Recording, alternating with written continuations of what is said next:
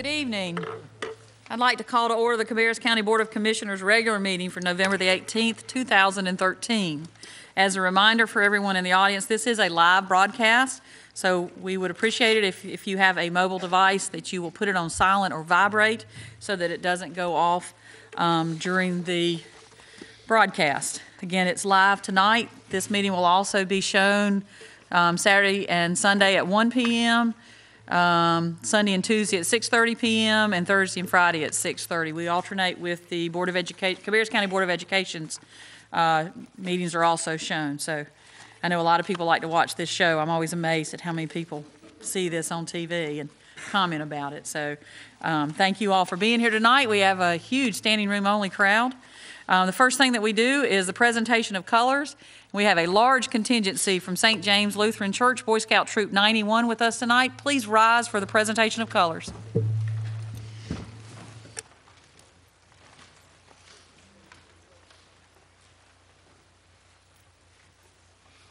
Color guard.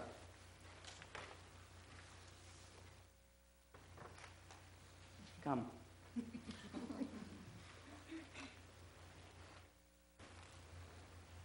Color guard, post the colors.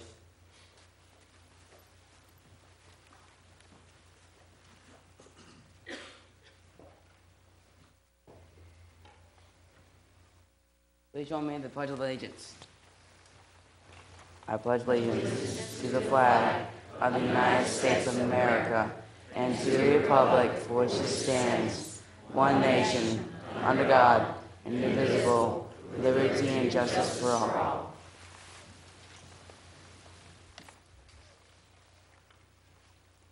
Color guard, retreat.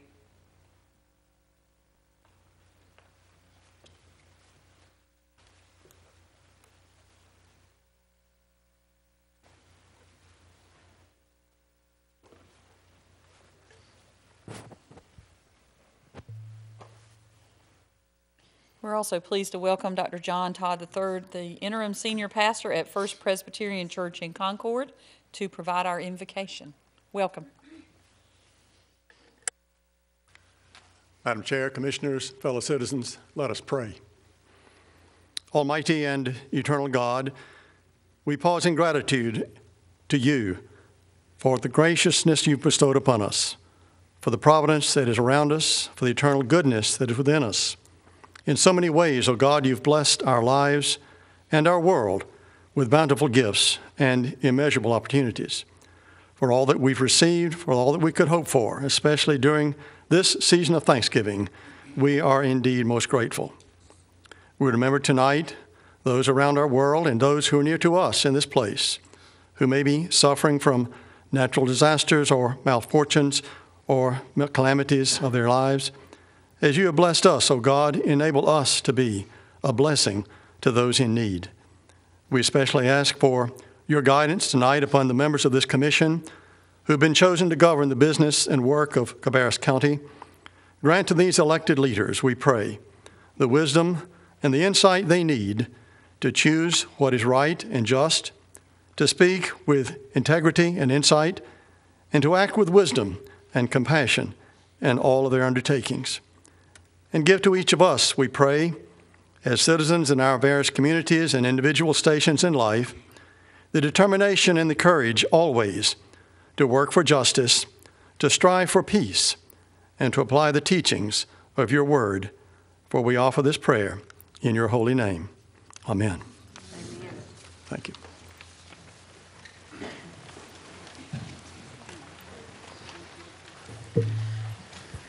Thank you very much, Dr. Todd. Um, We do appreciate all the scouts being here. What I'd like for you to do is to come up to the microphone. Um, Notice the microphones will move up and down very easily. Um, I always have to pull that one down when I get there because I'm a little bit shorter than a lot of you guys are, but adjust the microphone. Um, What I'd like for you to do is tell us your name and what school you go to, and tell me why you like scouting so much. And then I'd like for you to go to your left, my right, and Commissioner Burrage will give you a county pin. So, welcome. Thank you for being here. My name is Sawyer Brown. I'm a Life Scout, and I joined in 2010. I, I go to Northwest Cabarrus Middle School. And what do you like about scouting? I like camping out. Thank you. I'm Ethan Briggs. Um, I'm a first class scout. I've joined last year, just after Thanksgiving. Uh, I go to Concord Middle, and I, I like being able to learn things that are needed in life. Thank you. I'm Hunter Elliott. I go to Winkler Middle School. What what do you like about scouting? It's fun, It's fun. In what way? always. I don't blame you there.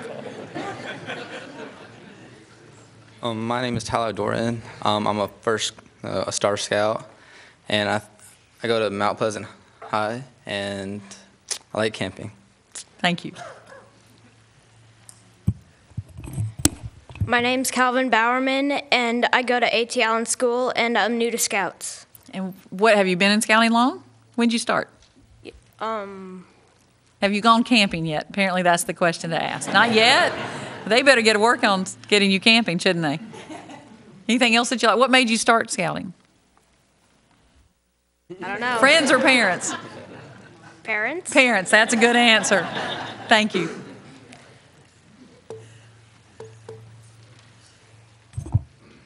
Hello, my name is Andrew Cameron. Uh, I'm an Eagle Scout. I go to Concord High School, and I like scouting because I get to hang out with these guys. Good answer. Thank you. My name's Adam Conversano. I go to Concord Middle School, and I joined scouting for learning and life's lessons. Thank you. I'm Jay Cruz. I go to Central Cabarrus High School. Um, I don't remember when I joined scouting, and I'm an Eagle Scout. You look like you've been very busy. Yes, ma'am. What do you like best about scouting? Um, the thrill. Good answer. Thank you. Um, I'm Christopher Thomas. Um, I go to Concord Middle, and the thing I like about scouting is the camping. Thank you. My name is Joshua Flanagan, and I go to Mount Pleasant Middle School. And my favorite thing about scouting is camping. Thank you.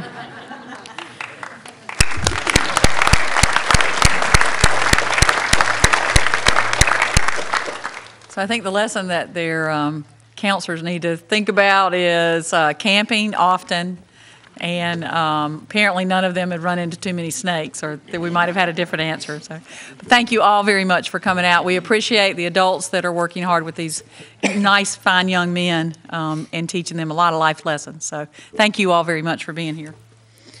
Um, Commissioners, the first item that we have is approval or correction of the minutes.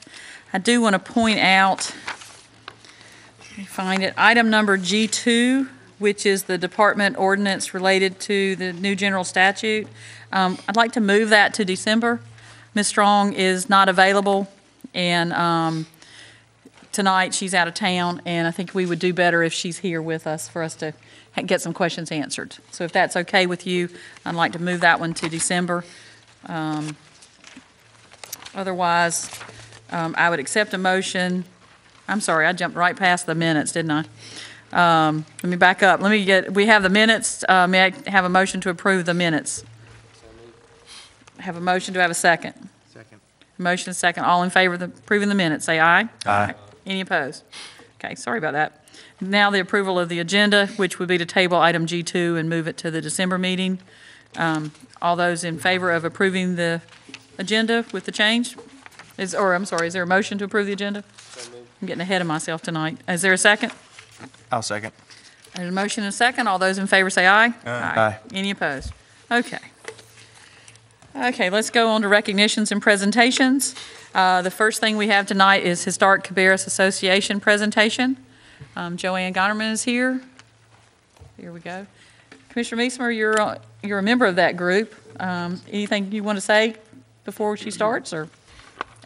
I just um, want to say uh, thanks to Joanne Gonerman. She has been our executive director for over a year now, and she has done a fantastic job um, with the organization and moving our organization forward.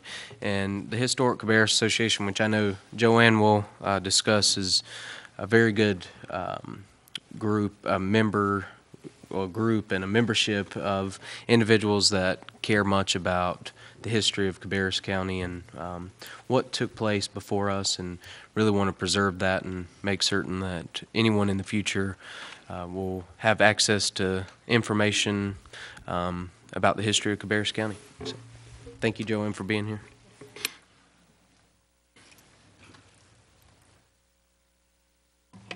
And I, I just want to ad lib for a minute and, and say my, my presentation is just a little different because I have a very special guest with us this evening. Um, so you- you'll, you'll understand in one moment. Chairman Poole, Vice Chair Measmer, Commissioners, Mr. Downs, Mr. Koch, Ms. Smith, thank you for the opportunity to speak before you this evening.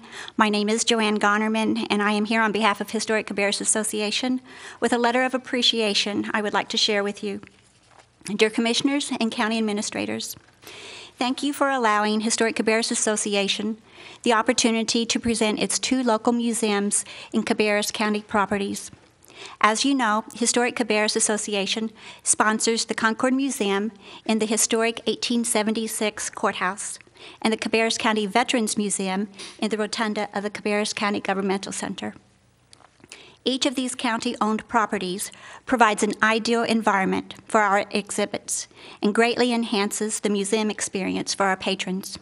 We are most grateful for this partnership and your generous support of our organization. As a courtesy and to update you on our activities, I have provided you a copy of the September 29th issue of the Independent Tribune newspaper, which features a front page news story about Historic Cabarrus Association and the historical documents we have uncovered in our archives. I have also included a program from our 2013 annual membership meeting highlighting key events of our organization during the past year. These are in a white envelope at your seat. I hope you enjoy reading these publications and learning more about our accomplishments. In addition to these updates, I want to invite you to visit the Concord Museum and the Cabarrus County Veterans Museum. Please visit soon and often.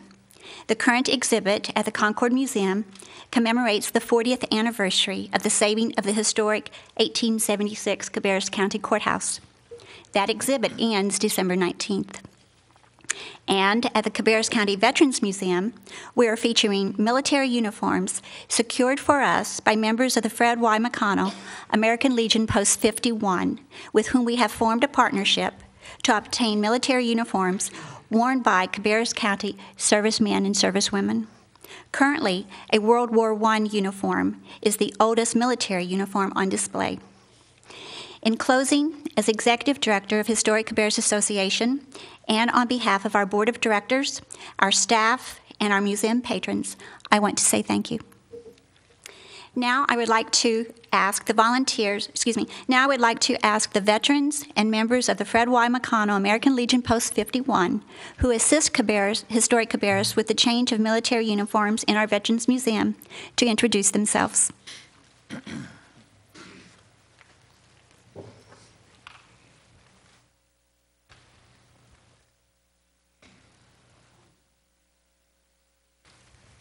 Uh, Good evening, members, uh, Madam Chairman.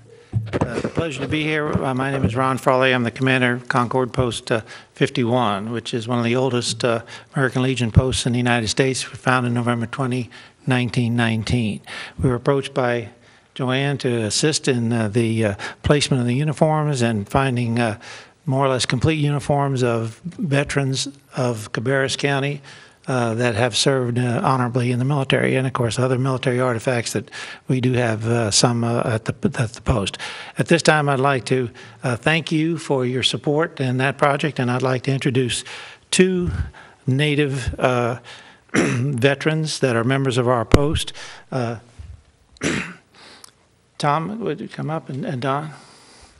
Tom Russell and Don Faggart. Tom Russell is also Commandant of the Marine Corps uh, League in Concord, and, and Don Faggart, two lifelong members of Cabarrus County. So I'd like to let them speak on their own behalf. I'm Tommy Russell, United States Marine Corps Vietnam veteran, I'm a Commandant of the Marine Corps League. I'd like to thank the Cabarrus County Board for allowing, and Joanne for allowing us to take part in the uniform changing downstairs. I think it's a very important part of Cabarrus County. Thank you. I am Don Faggart. I'm a lifelong resident of Cabarrus County and a resident of Concord City for the last 50 years. But anyway, I would like to thank the um, commissioners for allowing us to put our uniforms out here in the rotunda because it means a lot to us.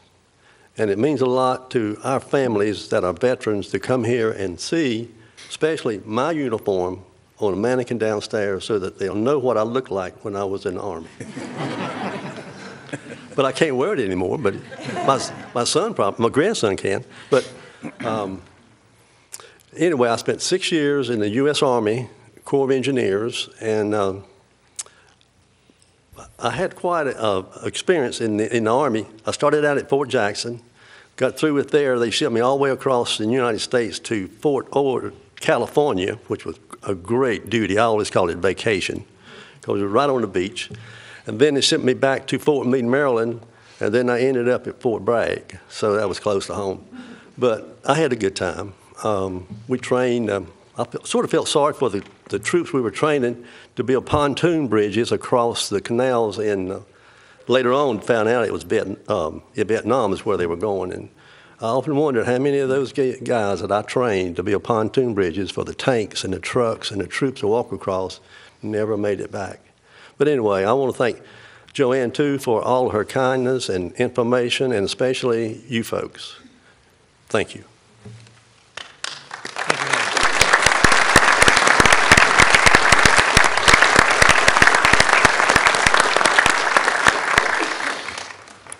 This is a good opportunity for everybody here. When you get ready to leave tonight, right underneath you, downstairs on the first floor, you'll see the display cases. So before you exit tonight, take a moment and look around and you can see the uniforms that are on display. Thank you all very much for, for being here and for, for participating um, and providing the uh, uniforms that are down there. Uh, the next item we have, Tony Harris is here. I don't know if you want to do an introduction first or if Andy's going to come on up for a recognition. Welcome. Commissioner Poole, Vice Chair Measmer, to all other fellow commissioners, to County Manager Mike Downs, to County Attorney Rich Koch and Megan Smith. Have the distinguished, distinguished honor of um, recognizing John Yost Sr., better known as Andy to most people in the county. Uh, he joined the county in 2012 as the safety and risk coordinator. He's definitely uh, made a tremendous impact within the county, overseeing the uh, workers' compensation. He's been definitely a valuable uh, addition to the risk management team. Uh, one of his goals when he joined the county was to earn his MESH uh, certificate, which is a program sponsored through North Carolina State University the Safety and Health Council of North Carolina and the North Carolina Department of Labor. It requires for him to go through, complete 100 hours of continuing education uh, to obtain the certificate. The certificate is signed by Charles McDonald. He's the president of the Safety and Health Council of North Carolina. Uh, Teresa Ratcliffe, uh, she is the uh, Vice Provost for Outreach and Extension for North Carolina State uh, University, and um, Commissioner Berry from the Commissioner uh, for the Department of Labor. And so I would like to present this to Andy Yost for the great job that he's done. Thank you.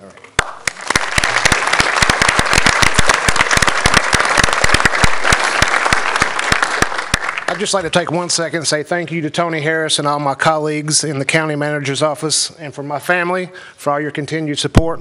Thank you. Wait a minute, before you go away, I want, they, they've been dying to get a good picture of you actually facing them. So, Tony, if you'll stand up there next to, to Andy and hold up your picture, so, because that's always good to have a proud family here.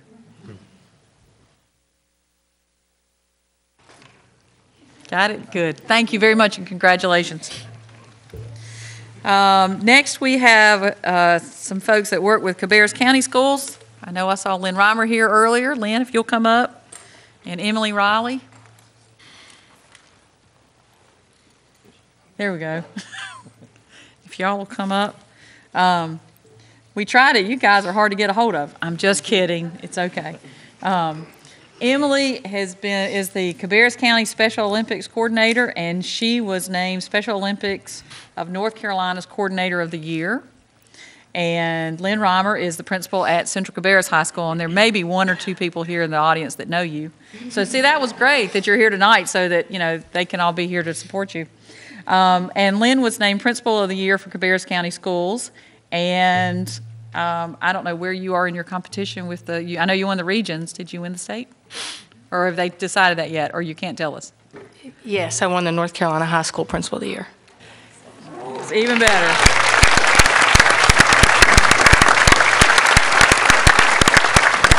So we want, see, that was something I didn't know all the way. So um, we want to give you a chance because you both, um, as a principal, you're very busy and, obviously very committed to your school, and Special Olympics is very dear to all of our hearts. So um, do you want to tell us a little bit about Special Olympics? And you can tell us a little bit about Principal of the Year? I know you got recognized earlier. I did. So, and sorry, I missed the last meeting. I was recognized um, back in August for Special Olympics Coordinator of the Year for um, North Carolina. And um, I was among 100 coordinators, so to me that is a huge honor. I want to thank you all for allowing me to be here tonight to share my honor with you all. Though I really appreciate the award I received from Special Olympics North Carolina, the biggest honor that I have is actually being the coordinator and getting to work with the individuals that I serve. Cabarrus County has an amazing group of athletes, and I am proud to be their coordinator. Our program keeps growing. At the time, we serve over 700 individuals with intellectual or other related developmental disabilities in Cabarrus County. At this time, we are offering training and competition opportunities in 16 of the 19 Special Olympics North Carolina sports, which keeps me very busy. Athletes are given the opportunity to train during the evenings or on the weekends with some great coaches in a variety of Olympic type sports. We just finished up our fall sports um, and have begun our basketball, cheerleading, alpine skiing teams. Some other exciting news that we have going on is um, back in October, um, one of our athletes, Eric Gluff, and his dad, um, Kerry Gluff, who was his unified partner, got to go to the National Golf Invitational in New Jersey, and they got fourth place in their division.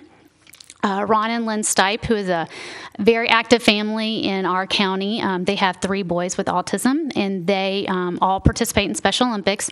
They were just named Family of the Year for. Um, for the state, and that is a huge honor for them and very deserving because they are very active in our community. And then Darius Robinson was chosen to attend the 2014 USA Games in New Jersey, and he will be going the, um, into New Jersey in June in cycling. So we have a lot of stuff going on in Cabarrus County, and we are very proud of the athletes that we serve. And as always, we are once again hosting our spring games at the Cabarrus Arena for individuals to attend with their schools or agencies. Um, the track and field event will be on April 8th and 9th this year. It's a little bit earlier than normal. I encourage you to come out and cheer on the athletes because they absolutely love having people out there to cheer them on. I want to say thank you so much for allowing me to bring my award tonight and for recognizing me, and also for the support that the county commissioners as well as the county government gives to our, um, to not just to me in my position, but also to our um, program. Um, our program is one of the best because of people like you all. So thank you. If somebody, sorry.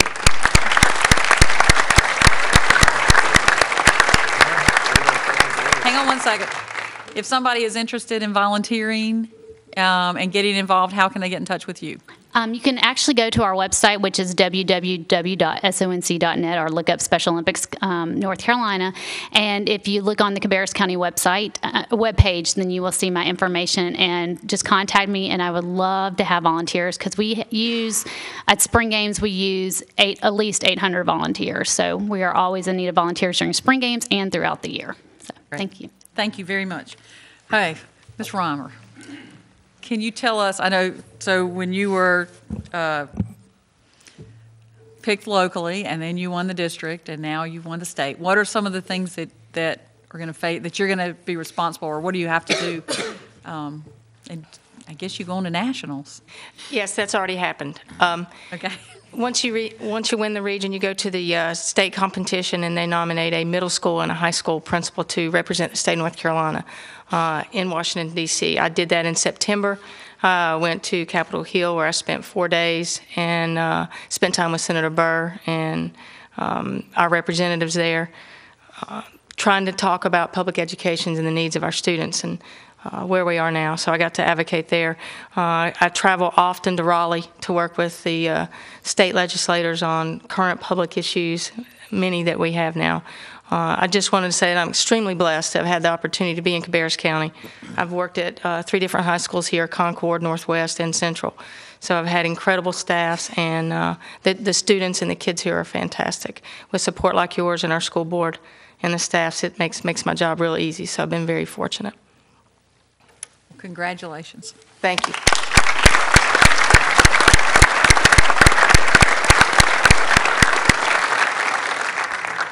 And we also want to recognize from Kannapolis City Schools their Teacher of the Year, Rebecca Merriman.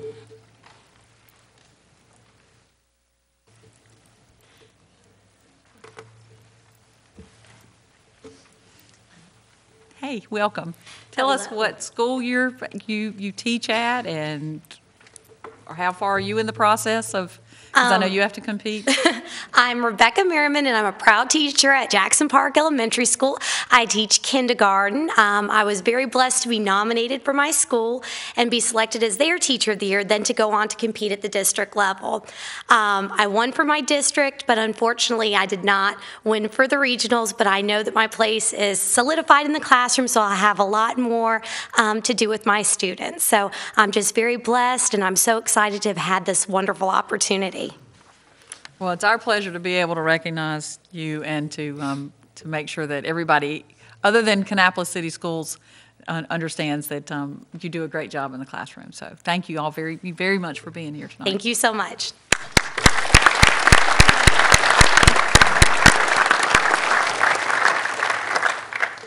Okay, next we have the Cabarrus County Extension and Community Association, presentation of the Centennial Holiday Tree. Joyce Klutz is here. And some other members. I know you have a number of members in the audience, like always. Welcome. Thank you. Um, Whenever we had the proclamation, not too long ago, uh, to commemorate our 100 years, we decided on that planning time that we needed to set some goals for the year. So we did. And they all uh, revolved around 100. And one of the first things we did was, and these are our community issues that we try to address. Uh, we did 100 pints of blood. We wanted to do that the entire year to come up with 100 pints of blood that is either giving or helping at our sites. Right now, we're at 90, so we're almost there. A 100 cans of food, and this is to Salvation Army and CCM, and this is just continually. 100 cards to friends, neighbors, 100 bears made for Victory Junction. You hold up this bear. This is just the hardest thing in the world to make. Barbara Looney, Barbara Looney is our maker, and we're the stuffers. But um, we did make 100 bears for Victory Junction, 100 items donated to the Boys and Girls Home in Lake Waccamaw. These are two of our very important state projects. 100 item, items for the Veterans Hospital in Salisbury, and 100 handmade ornaments for our 1913 Christmas tree downstairs in the rotunda. rotunda. And of course, we really exceeded all these goals by more than we can count, quite frankly. Uh, one of the big things we did for our celebration was purchase bricks to go into the garden area at McKimmon Center on the University of uh, North Carolina, North Carolina State University. And we did this in honor and in memory of individuals. And the funds realized for this event goes into our ECA Foundation. And the, in turn, that foundation money comes back to the counties for grants that they may write for particular projects that they may have. Uh, a fun thing that we did, every county was given a piggy bank. And a piggy bank was this big, and we could decorate it any way we wanted to. Well, ours was decorated and uh, signed by a race car driver named Danica Patrick. And of course, Randolph County, they had um, Richard Petty sign that pig. So these can be seen on eBay and you can buy it. So please look and see if those pigs are on eBay and purchase one. That money again goes into the foundation. Uh, for our pig, we did contribute $500. We collected that over an extended period of time. And um, we do want to thank you for uh, recognizing us for 100 years and Cabarrus County Cooperative Extension. We appreciate that so very much. And one of the last things um, for our gala celebration, we are all given a ball jar, a blue ball jar. They're 100 years old today. I mean, this year too, with us. So our jar was empty, but we brought a ball jar for you, and it's filled with chocolate candy. So our members are here to give each of you a 100 year old ball jar. So, okay, ladies.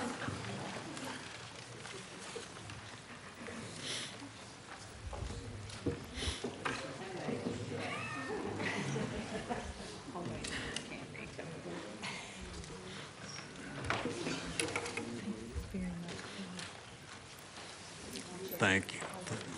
Thank you very much. Thank you very much.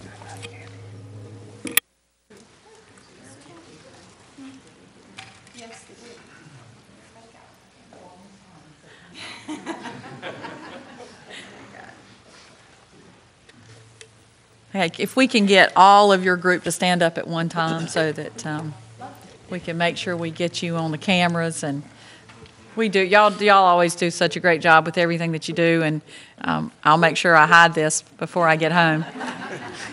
Because I have a feeling somebody at home is probably watching this. You guys better hide yours too. I'm just saying. You know, all's fair in love and chocolate. So, but you guys are great. Thank you so much for always doing everything that you do and being here.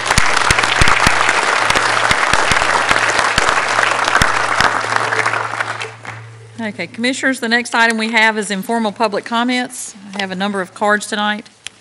Um, uh, uh, Again, please, if you'll adjust your microphone if you need to when you come up. Um, uh, First up is Price Crutchfield.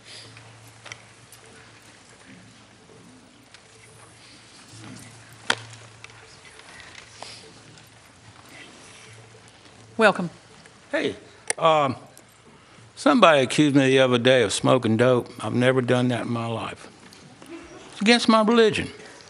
Speaking about religion, I'm concerned about something. I've been trying to get the government over here at the courthouse to answer some questions pertaining to the Holy Bible. And I was wanting to know if my tax money is helping to pay for the Holy Bible over at the courthouse. Now, I'm concerned that not all of us are held to the standards of, of telling the truth when we put our hand on that Bible because a Concord police officer who's now retired, his name is Scott Newell, he lied under oath on me in court to Judge Hamby after he put his hand on that Bible. And again, I want to know if my tax money is helping to pay for that Bible. If it is, then my money is being stewarded in the wrong way. He broke the law and lied under oath, and he told Judge Hamby, he said, Your Honor, he's come into restaurants and harassed my family. I've never harassed anybody's family in my life. But if you're with the police in Concord, you can lie on the oath and nothing's going to happen to you. Maybe I'm not, I know what it is. I'm not a member of the right church. Now, if I hook up with the right church and the right people over at the courthouse find out about it, well, shoot, I'll be in by just like Flint. Then I might be able to get a job on the police force, maybe. And then I could lie under oath and nothing would happen to me. But uh, all jokes aside, this is pretty serious stuff, and the police are getting out of hand. I think we've all seen this, or most of us have seen this video of this police shooting at this woman and all her kids in the car this morning on TV. I mean, on a more serious note, these police are getting out of hand. When they're not, it seems when they're not busy involved in, uh, you know, child internet pornography and stuff like that, stuff that I've talked about in the past, nobody listened to, then they're busy shooting at people's kids in cars. Now, I've always wondered about that deal over there in Charlotte where that man, he worked on that cell tower and the police killed him. And he's putting them two girls through college. I never was satisfied about the ending of that deal. And then recently, that other man over there that was shot by the police, and now they, they're going to get away with that. The police are out of hand. They're out of hand in this country. Something's got to be done about it. And quite frankly, I think the religious right and this homeland security thing and all this stuff has got it out for people like me that really know what's going on. This is the old uh, let's just subjugate them and uh, keep them down and uh, business as usual. There's some dangerous things going on out there.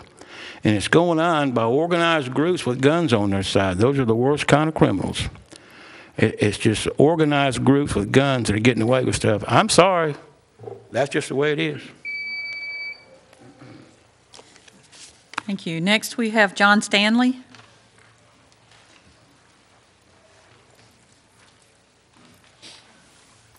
Commissioners, you have a handout at your seats also. Please. Welcome.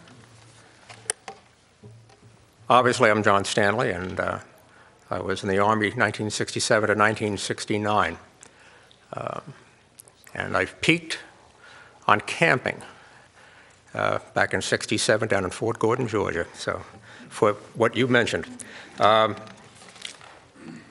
North Carolina has the third largest pro uh, capita population of veterans in the country. And someone forgot to tell them this. Um, in 2008, Congress passed a law uh, that there will be a commemoration of Vietnam veterans in the starting the year 2015. Uh, in 2012, it was announced at the uh, wall. But again, somebody forgot to tell North Carolina.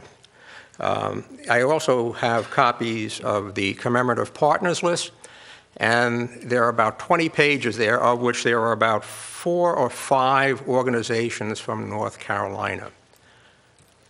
I'm very proud to say that Concord is the first municipality to be on that commemorative partners list. I think there's only two copies out there, so it'll have to be passed around. And what we're trying to do here is we've decided to get together and create the Cabarrus Veterans Coalition. Uh, we were originally going to call it the Cabarrus uh, Vietnam Veterans Coalition, but this is going to be an inclusive organization.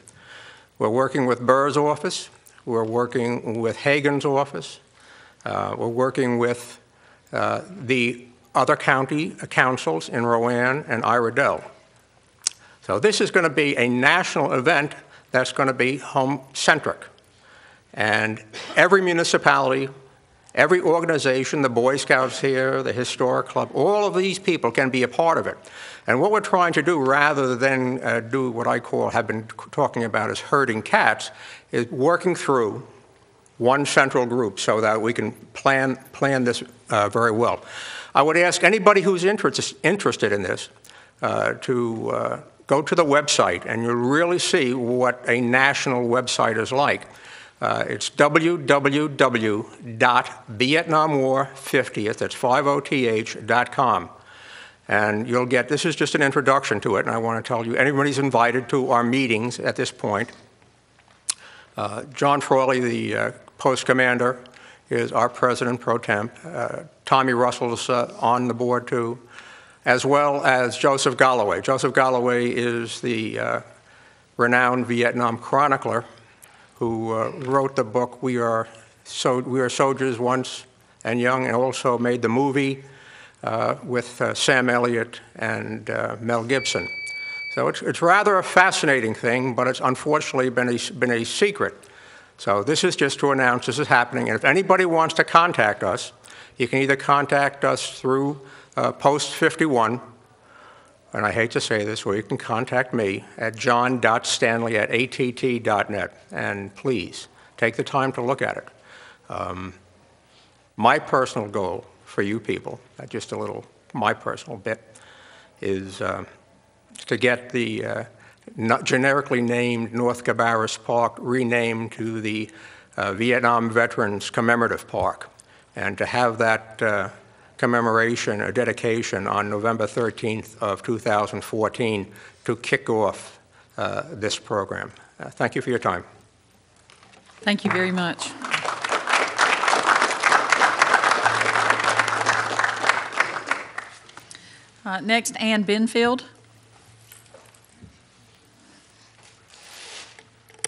Hi. Uh, Thank you so much for the opportunity again tonight. I was here last month, and I shared with you a little bit about childcare subsidy in the county, but I wanted to come here personally tonight and thank you so much for approving the transportation grants for the county because it greatly impacts the families that we serve through the partnership. Um, Tonight, I wanted to talk to you a little bit more about brain development and brain science because I shared with you last month that um, there's 2,000 days between the child, between- the time a child is born and they enter kindergarten. And I wanted to share with you, um, I have some handouts today with pictures of the brain. Um, And we, and I talked to you last month about um, a brain that was developed by, with a, by a child that had adverse reaction, or uh, adverse conditions in their life if, if they're born with um, less fortunate um, family members and uh, don't have all the opportunities that a lot of our children have. Um, and I just wanted to bring that to your attention because I want you to understand that if we invest in children at an early age, we'll pay less money in the future for jails uh, because we spent, what, $60 million in Cabarrus County to build a jail, but um, we only have $2.5 million in early childhood, and we know that if we get the first five years right, then maybe we wouldn't have to spend so much money on the other end. So I have this today, and I'll give it to Megan, and I really appreciate your time, and thanks again for the transportation grant. Thank you. Um, Next, Brittany Truesdale.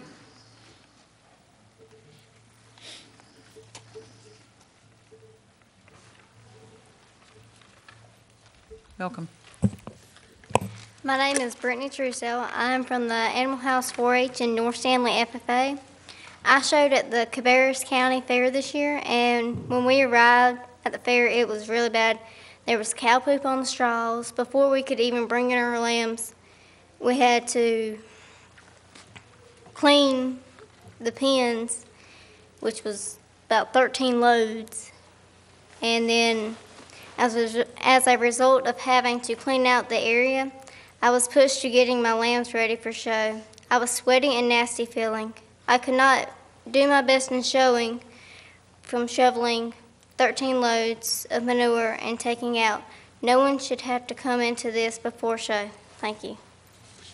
Thank you. Um, Susan Furr.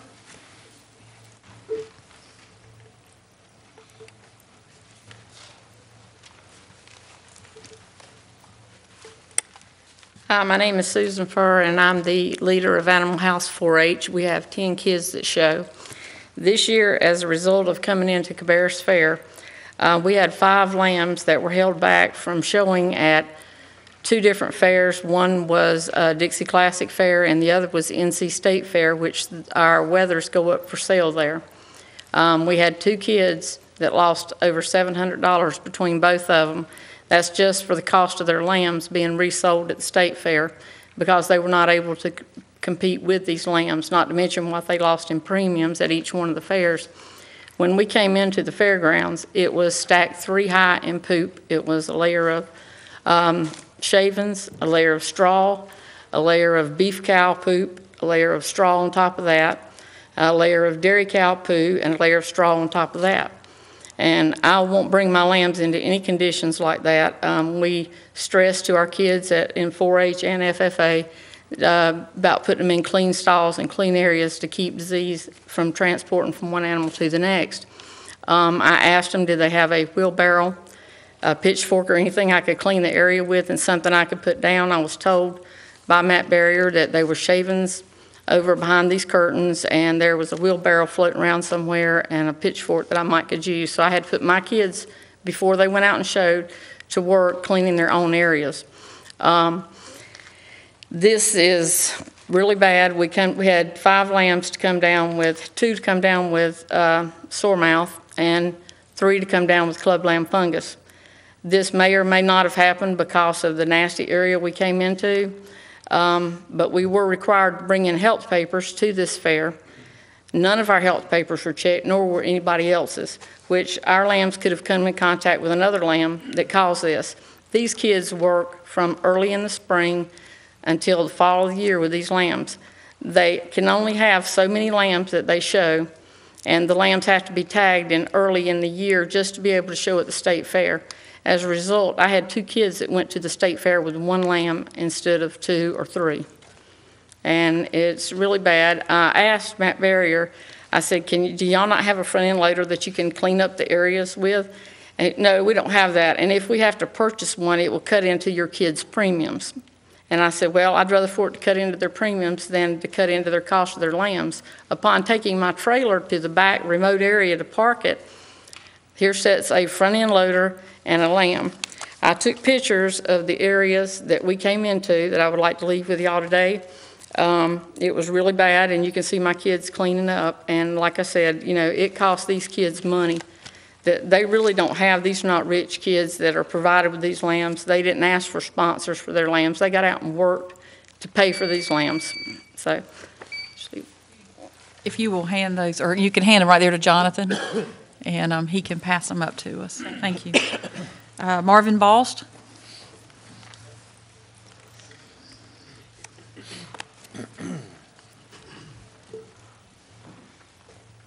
You look like you pay for the Steelers or something. No, ma'am. My name is Marvin Bost. I'm from Mount Pleasant, a lifetime resident of Cabarrus County. I also here to speak to the fair, so, um, and I have a handout for each one of you commissioners to give you a sort of a summary of what we think we should be looking towards. It's called the Dixie Classic Fair in Winston-Salem. It is a regional fair.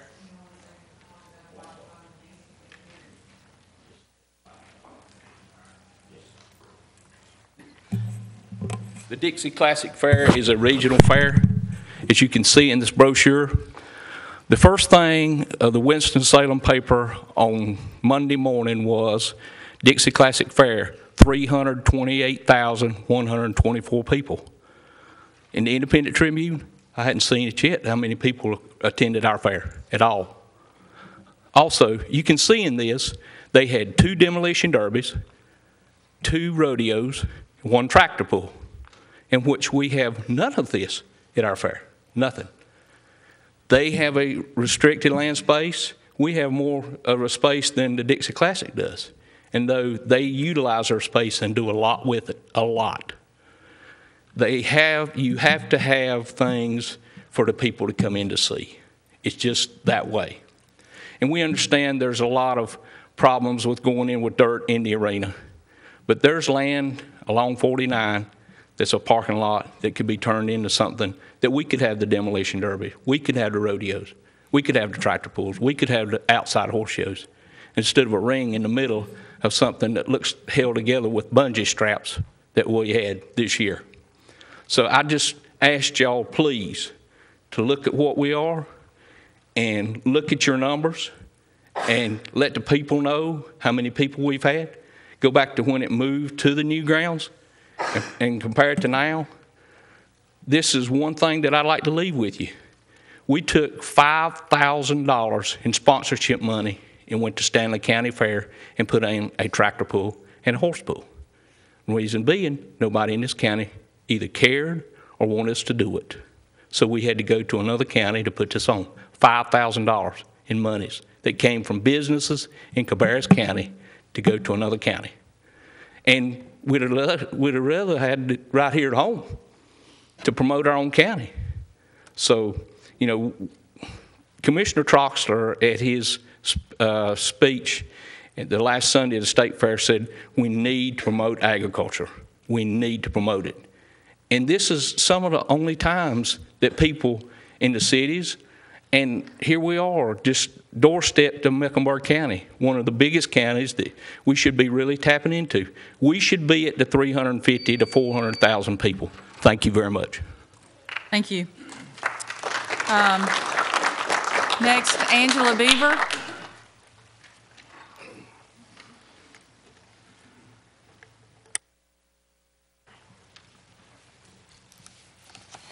Hi. Um, I also brought my students the next two cards probably up there with me. It's a strength in numbers thing. um, and I also have some pictures to share with you all about what we're going to speak about. So if you can just pass. Yeah, If you want to hand them to Jonathan, and you, which one's, who's Emma? Right here. Emma and Maddie? Yes. Okay. Okay. Um, hello. As my email to each of you detailed on Thursday, I am a parent volunteer working with a group of parents and staff to secure funding to fix a long overdue problem at Northwest High and middle schools. In addition to the safety code issues that dictated last year's gym upgrades at Northwest, this 50 plus year old school has another pressing concern that the commissioners and school board have been discussing since 2004 as a priority. There is one track at Northwest. It is shared by over 2,000 students from both schools on a daily basis for PE classes, run clubs, track teams from both schools and other sports teams at both schools to train. In addition, the track is accessible to the community and is highly used by groups like our JROTC cadets, RCCC law enforcement classes just a few miles away, and community members. This is a high-use track that is in poor, cracked shape and has substandard and unsafe, unusable features that must be fixed. This project has been discussed and pushed aside in light of other priorities. It is extremely frustrating as a parent and a taxpayer seeing the disrepair of the track at Northwest, which also is the first thing you see as you drive onto our campus along the growing Kannapolis Parkway corridor. Our kids and families have waited patiently, but now is the time to act, act and we need support from Cabarrus County to complete this project. Now, proudly, a group of parent volunteers and staff have researched, gathered information, asked permission, and written two grants to raise funds for this priority project. On November 5th, a national organization, the Jimmie Johnson Foundation, validated our work and recognized the priority of our project by awarding our school $65,000 to repair and rubberize our track. One of only nine projects in the nation to receive this award, the Northwest Community Track was identified as a critical need impacting many community members. With their donation and a Cabarrus Parks matching incentive grant, also secured by our volunteer group, the track can be repaired. Our request to you today is an investment of one time funds to help rebuild usable, safe, basic bathrooms, wheelchair accessible bathroom and track entryways, and basic metal bleachers for students and community members using our facility.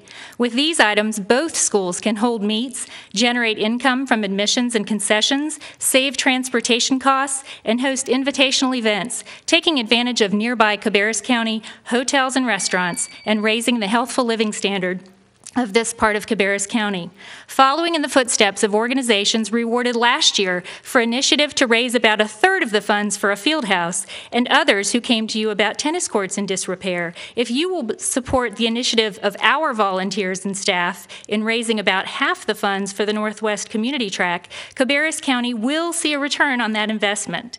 And just as importantly, the students and members of the Northwest community will finally have a safe and usable facility that at least meets the basic standards they have waited patiently for, worked hard for, and deserve. Thank you. Thank you. Ladies, you have anything you want to add?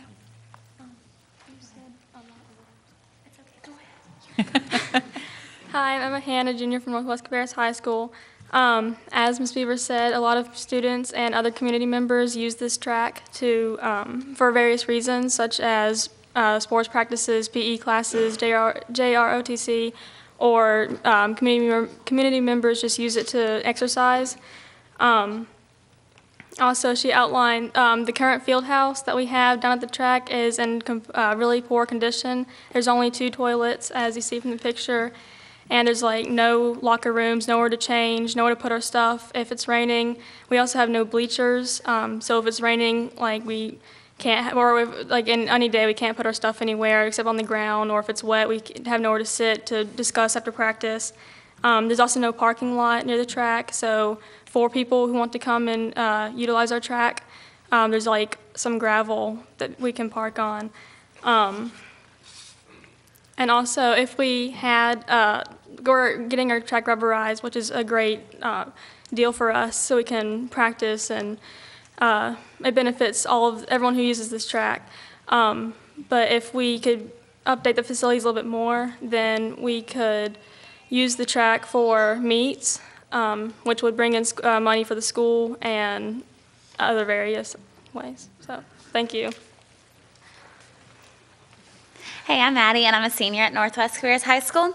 Northwest is known to have a tradition of excellence and strives to train its students for successful futures. Within the past year or so, a lot has changed and improved at our school. We're beginning to grasp the modernizing changes of education and beginning to mold a school that is up to date with the evolving society. We have recently updated our baseball and softball fields, cleaned up and improved our football stadium, and, and have even built a brand new gym. However, our track facilities have been pushed to the side. As a member of both the cross country and track teams since my middle school years, I have spent countless hours on our track in order to improve my performance as an athlete. Although I and several other students have gone to the state level and have performed well, we need a new track and, and help it. And it'll help it be beneficial to our training. We needed to update our track facility because it has been proven that the advanced athletic technology has affected the way athletes perform. We are a school that is dedicated to excellence, and with a new track and better facilities, we would indeed meet this expectation. Another aspect that has hindered our athletics performances are injuries. Yes, every athlete has those tugging, nagging side effects, shin splints, tight calves, or tendonitis. But then there are those injuries that can stop a person from actually running. This fall, I encountered my very first injury, a stress fracture. My injury was a hindrance to my performance this year. Injuries are very common on our team. Although we cannot fully eliminate them, a better facility and a better track will help us impact our performance and eliminate um, injuries. A new rubberized track will bring our school up to date with other schools in our county and help us improve our athletic performances. We will be able to maintain our tradition of excellence and help minimize our injuries on the team. As you can see, a new rubberized track is important for our school, and this is why we are asking you for your help. Thank you. You both did extremely well coming up.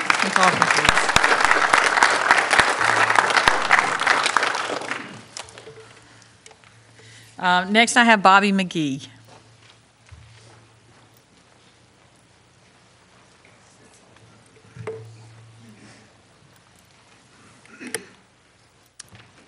Thank you, all you commissioners, for allowing me to speak tonight. Uh, My name is Bobby McGee. I am here to speak about the Central Cabarrus Turf Project. Uh, This is very important to our community. I am a lifelong resident of Cabarrus County. I went to Central Cabarrus from 1987 to 1990, and I've seen the changes in our county with the new schools that have been built, and I'm very involved in Central as a parent of a student and the Booster Club president. I'm here tonight to ask for your support for the Central Cabarrus Turf Project. Our community already puts many hours and our own money into this field right now. I can't speak for the others who donate their time and finances, but me personally, I spend eight to 10 hours a week in my own personal finances to make sure these fields are playable for our students and athletes. The project is a great opportunity for our school and our community as a whole. We currently have the worst athletic facilities of any high school in our county track, tennis courts, any facility, come take a look. I think that this project would help get our, stu- our facilities back in order to where we can have some pride in our, in our school, our students can have some pride in our community. Right now, the Booster Club and our parents, we do a lot of upgrades. We've done all of the beautification products around our school with our own money. We haven't had any help to do these projects yet. we would like to see Central have something our own that our whole community can have. The other schools have got their own things. They've got their new field houses, they've got their new gyms, they've got their new tennis courts. Central's got nothing. This is a project for the whole community, not just for Central Cabarrus High School. Many benefits for this uh, the project would have for our community is there are lots of youth organizations that could really use a space in the venue to be able to come out and play. We've we've got very few spaces in the southern Cabarrus County region, as you know. There's there's very few places where our youth can go out and have a field to play on. Um, tonight, again, I come and ask for your support on this project. I ask that you carefully consider the positive impact this project will have on our community. And when you, while you're voting on funding this project, we are central, we are Cabarrus County citizens that donate our time and resources. We would like to see something great happen at Central for our whole community. Thank you. Thank you. Commissioners, those are all of the um, informal public comment cards that I have received for tonight. Uh, Next, we have old business, and we have Ben Rose here and Trish Baker, and you're going to come up and give us an update on NC Fast.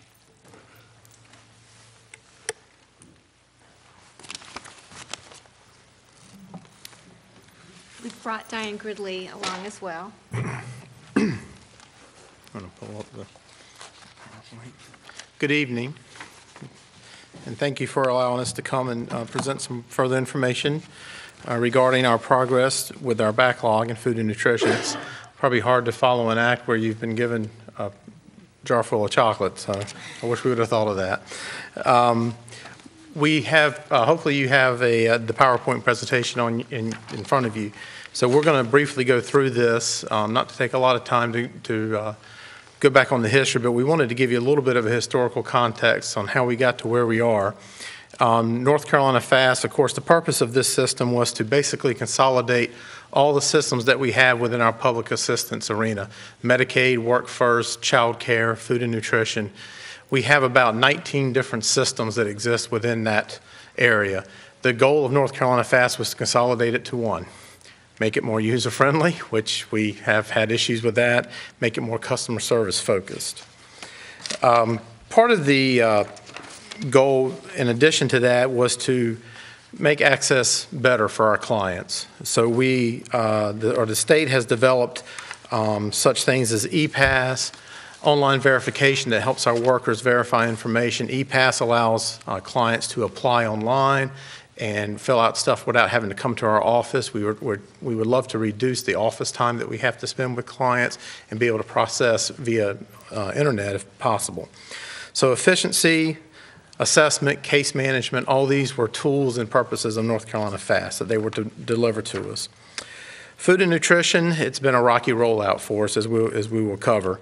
Um, but food and nutrition, we soft launched in October where we basically started taking new applications and putting them into the system. And then on February 15th, we, we were totally working in the NC Fast system, leaving our old, what was called FSIS system.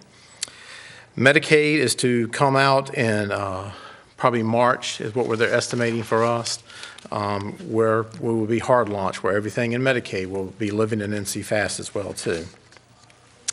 We have a, a, slide in here as well. We just this is a lot of information for you to just review, but this is going uh, looking at the Affordable uh, Health Care Act. This is a part of NC Fast, and we are already having issues within this system because it is pending applications in Medicaid already, and the the the Affordable Care Act has not even been rolled out in terms of rules and policies yet in NC Fast. So we wanted to share this information with you to show you how that will be incorporated as we move forward. We will be a big part of the uh, Federal Health Care Exchange once that site gets working, I guess, as well too.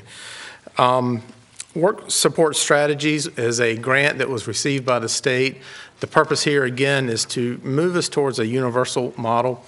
When a client comes in in the, in the past, three or four years ago, they would see three or four different workers to basically get three or four different types of services. The goal eventually with NC Fast and, and uh, work support strategies is to get it to where one worker can handle all the needs for one, for one client.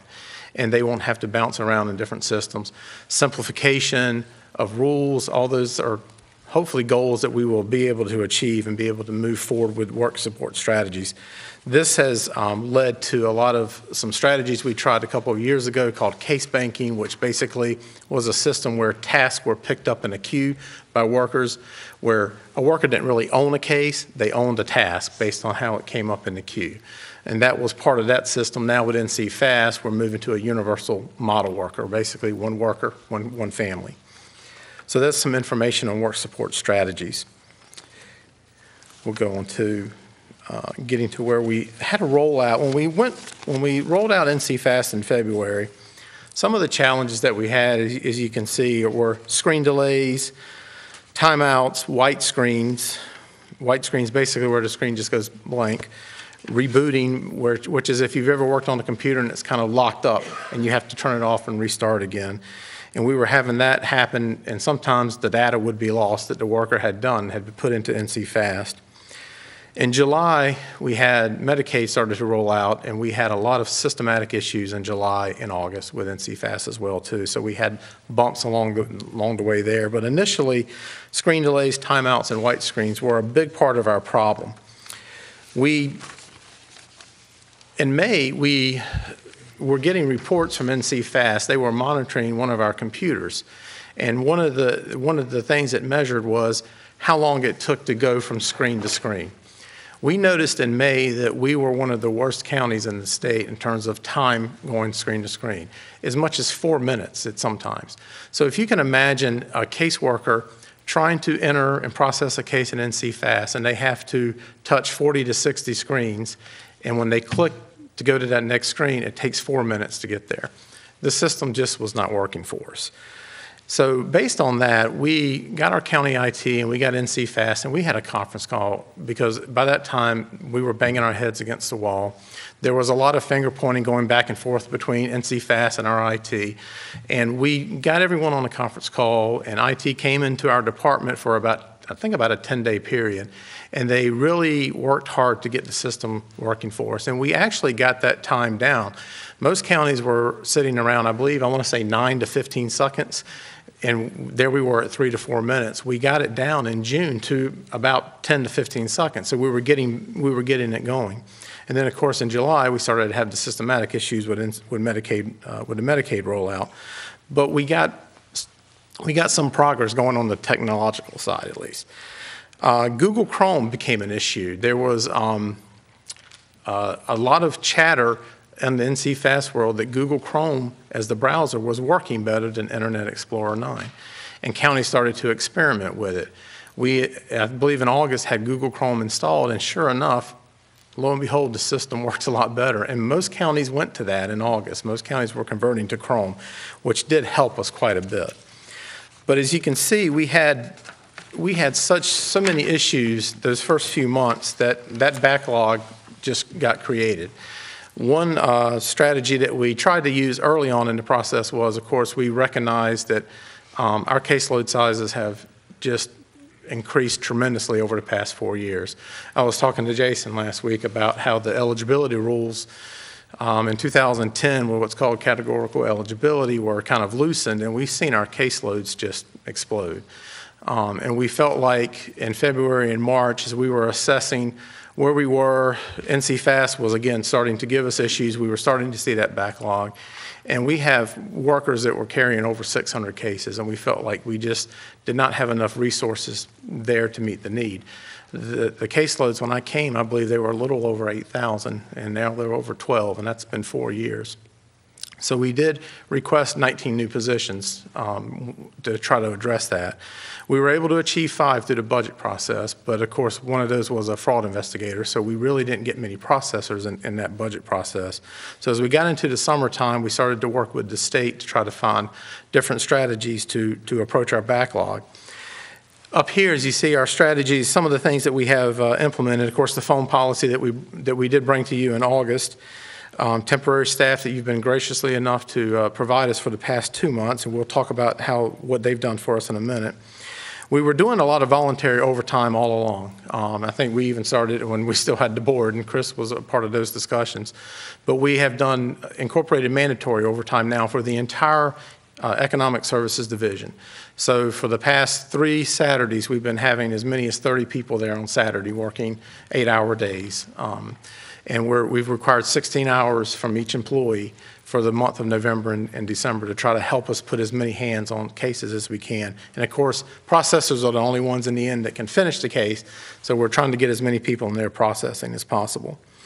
Um, Mike has been really helpful in helping us get some county volunteers.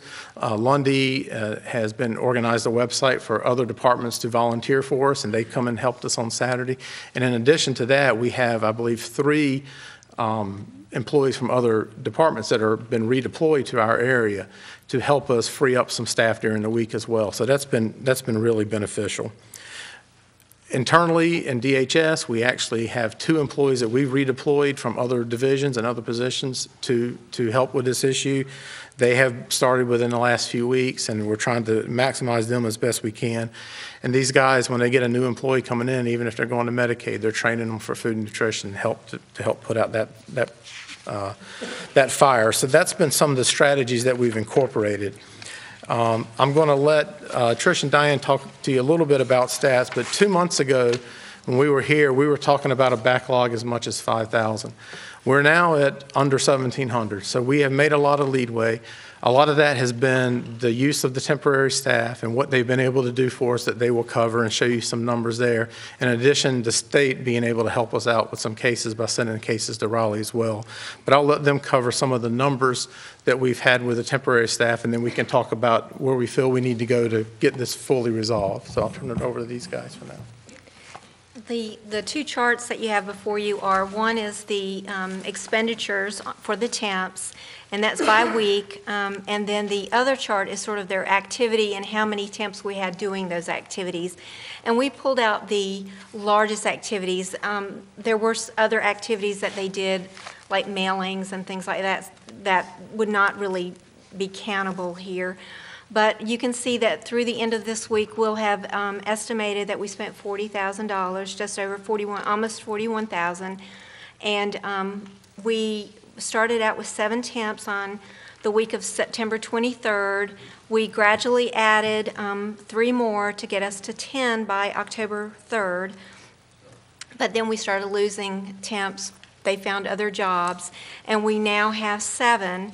Um, The temps started out doing what we call um, submitting applications, and what they did was, we would, when, because a client can apply either um, electronically, they can come in our office and apply, or they can mail us a paper application. Um, So the bulk of our clients usually choose to take a paper application if they can, and we're also under a face, um, a face-to-face waiver, so we were encouraging, because we're part of a pilot, for clients not to see us face-to-face. The state wanted to show that you would have same outcomes with a client as far as fraud and processing time if you didn't have to interview them. So we're part of that pilot.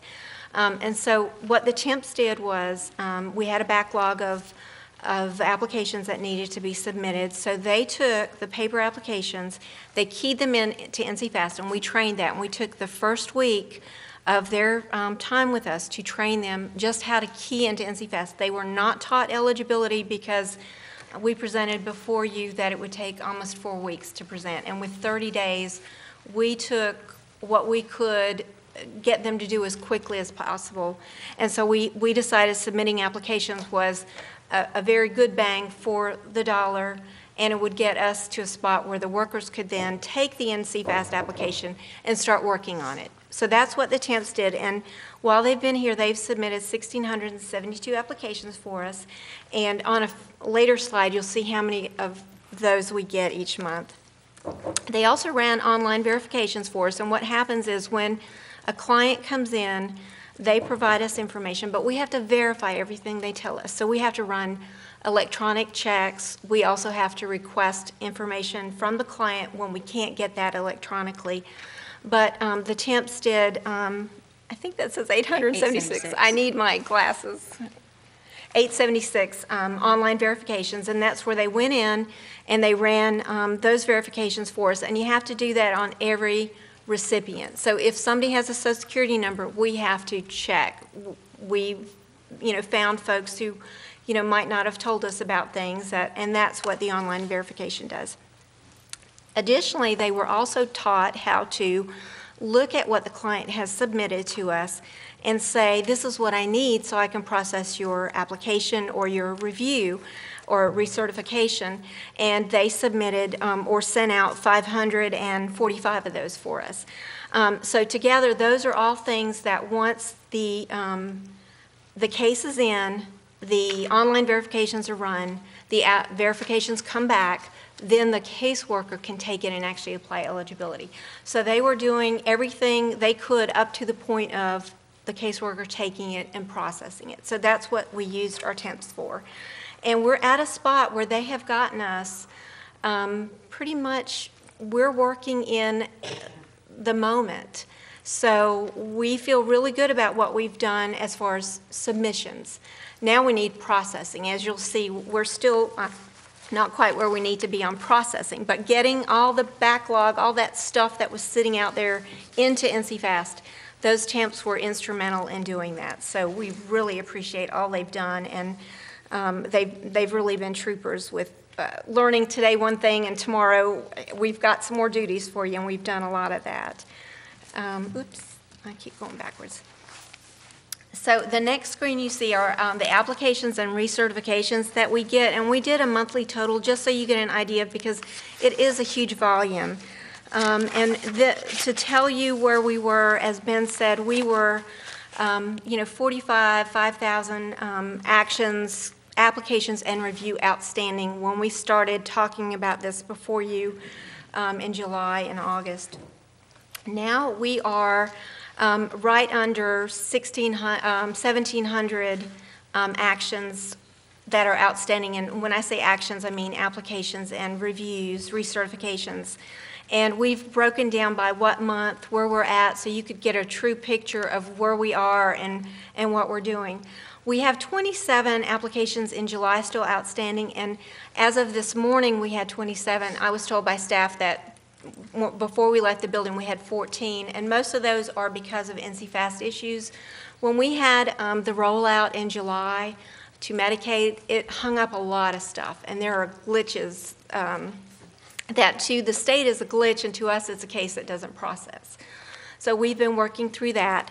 Um, our August um, numbers in applications have also come down even since this morning because now that we're able to touch things in, in sort of more real time, the notices have to get sent out. The 8650s, which are the requests for verification, get sent out. The client is then given 10 days to return that information to us. So we have now started tracking that, and the temps will go back in and check our, our electronic system to see if that information's come in. If it's come in, it's put in a ready stack. If it hasn't come in, and our reviewers from the county uh, provided us staff on Saturdays, they've come in, um, they've looked at all our work and said, okay, this is ready, this is, didn't come in, we can deny it. So that's where we're at, and that's why we're able to be in a much better spot than we were even last month. So, I'm talking a lot, so if you have any questions or anything. I keep going anyway. So, to summarize, we, we are still behind. Um, we're still experiencing issues with um, the NC-FAST system, and now it, the NC-FAST system, because of the rollout, is impacting the eligibility information system, which is a Medicaid sort of 1970s system. But we um, try to key a Medicaid application, and it says, no, it's supposed to be in NC-FAST. And then you try to put it in NC-FAST, and it's saying, no, it's supposed to be in EIS. And so the workers are having to struggle through that. And in between, this client may be getting food stamps, and it's put their food stamps on hold because of the back and forth. It doesn't know where it lives.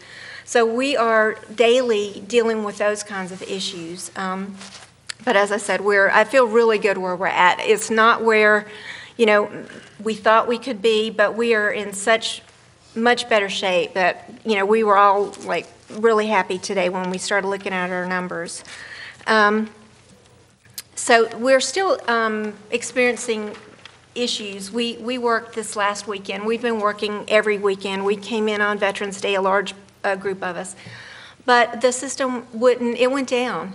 At 11 o'clock, the, you couldn't do anything. We're having those kinds of issues. The state calls them latency issues, which I had to look that up, and that I think means a lag. You're not able to get the information in. But what we experienced on our end was a unable to log in at all uh, issue. So latency means, okay, it's working a little bit. Uh, we were not working at all. And we had, you know, screenshots where it said, you know, it'll it'll be up at 5 a.m. tomorrow. And we're like, what? We have it's 11 o'clock on Veterans Day. We we're here to work. So we've had those kinds of issues. We had um, system being down um, two and a half days this last week. So NC Fast is still not fast. Um, but it, it's getting better. I mean, in a week, um, it's a lot better than it was, say, July or May. Um, but, but we're not where we need to be. And a lot of that is because of the system. So. And I think it's important to note too that just today, there started to be conversation from, with counties to the work support strategy people that NC Fast, we're not ready to, we're not ready for Medicaid. No, we're not. And they've actually been asking to suspend because things are just not built out, rules are not there, policies are, policies are not there. And we really fear these same issues with Medicaid that we've had with food and nutrition. And that's a scary thought to us. We were told on a conference call last week that um, there were 156 applications that they could identify for Cabarrus County that were hung up in the federal marketplace, that they can't get to us. So that's 156 applications that could very well be past due because this started October 1. Um, So we're already thinking, oh my gosh, we're, we're going to be in that same spot if, if the state doesn't do something about NC Fast soon. So we are, we're struggling, we're doing what we can to advocate for our clients. We don't want to be here, um, but the state is, you know, still pushing, pushing forward. So that's sort of where we're at. Sure. Oh, wrong. I'm dyslexic or. And our last slide is, again, talking about just going forward, how we continue to try to work out of this. And a lot of what we want to do is continue some of the same strategies that we have implemented, especially the mandatory overtime. Of course, we have that scheduled through December at this point, and if we need to go further into January, we can. Um, Continue the volunteer program, continue to train new employees to help us with, with the backlog until we can get out of it. Um, We do feel like, at this point, probably the current temporary staff that we have, I think we have used them to the maximum capacity. Um, Our original proposal for temporary staff, and if you recall the letter that we got from Dean Simpson in September, was, you know, to hire processing staff for several months. And, you know, you as a board did not want to commit to that, which we totally understand and, and, and respect. Therefore, we tried to use them as best we could within the small time frame that we had them. But right now, our need is, is processors at, at best. So if we wanted, if we wanted to look at any additional resources outside of what we have going forward, we would probably need to look at a processing resource versus a support resource. Um, and that would be hiring someone that is experienced and is contracted temporarily that can come in and actually process cases in the system, because that can only be done by an eligibility worker. But basically, we want to continue the, most of the same strategies that we have, because we are feeling like we're getting there. Okay, so on the last bullet that you have displayed, you have workers plural at an estimated cost of $14,080 Yes. To work through mid-January. How many workers would that be? That is based on, um, we shared with you, I believe, in, in August, when our original proposal, that we're basing that on a company called Vanguard. Vanguard. Think about it for a minute, who basically have, uh, ready processors that you can contract for. And that's based on their, on their price. That's two, that's looking at two workers. Now, we could go that route, or we could potentially look at, are there ways to maybe contract with other counties that have existing staff that might be willing to come in and do some time on Saturdays with us? There might be other alternatives to that as well, too. But we wanted to give you kind of just a, a working figure to, to see um, if that was an option you wanted to consider as a board. You know, if we don't utilize that option, we'll continue to do all the strategies that we're doing and try to just, you know, claw our way, continue to claw our way out of this. Um, the, the Saturday work, I think, is making a difference. We've had three Saturdays, and when the system is working, we, we can, we can make some progress because we have processors there that can do it. And then this had, the second bullet, discontinue current temporary staff, so as of when will they be discontinued? Well, discontinued? we, we would, you know, look to This week. We'd- implement that this week, yes. We'd wrap up their current projects and clean up that work and then release them. They, they have been a tremendous help, there's no doubt, but with, again, with the short time span, we couldn't train them to process, so we put them where we thought we could use them, and they have really been a tremendous help, because all those actions that they did were things that the regular processors did not have to do, which, which would help, which has been a big help. Okay. Um, Commissioners, do you have some questions? Um, Steve, you want to start? Do you have any questions? I was just curious how the cost of the temporary workers as compared to the, the overtime that you're incurring, and I do realize that there are some things they can't do, but does, uh, uh, the blended situation that you have right now a little less expensive than going totally on the overtime, and these contracted eligibility workers, I'm assuming they're better qualified and probably more expensive? Yes, uh, uh, Vanguard, I won't keep calling them Vanpool, Vanguard, uh, the, at least the rate they quoted us in August was as high as $27, $28 an hour. And they even wrote in their letter, I think we actually submitted the letter to you in August, they even wrote that based on how North Carolina FAST system is not consistently working, the rate could be a variable based on that. Um, So it, it is more, it is more expensive, but it is our need at this point too as well. Um, Our, our need now is we've got cases ready to go, but we still have the same number of processors with our staff. And they're mm-hmm. basically the ones that can process. So if we can add a couple more hands to the, to the pot, we might could, you know, help knock them down a little quicker. Right. And so would, would a, a larger number of them as compared to some of the overtime, I'm, I fear that you may start having morale issues if everybody's working every Saturday through the holiday season. Is that becoming a problem? I'll let you guys address. I would say it is, although the, the staff, like this morning, I had staff there at six. They want to get these benefits done. So um, morale is low, but they also see, like I said this morning, we were like looking at our numbers and cheering ourselves because we've really, really, really, you can really see a difference now when you look at where we were just a couple of months ago. So, and the client calls have diminished. The, the benefits, now we're trying to focus on who, who all can we feed before Thanksgiving? You know, we're, we're really pushing that now. And, you know, I'm going to commend my staff and all the folks who've come to help us. We've, they've done a great job. So morale is an issue, but they're willing to do it, and we appreciate that so much. And so these, these trained eligibility workers should be able to move it along a little faster than the temporary. Well, def- definitely, because like I said, we've kind of used them to our max now Right. in a lot of ways. Um, So now it's getting, what they've done, trying to get it processed, and we still have the same number of hands on that. So if we want to look at additional resources, again, we can, you know, tackle it one of two ways.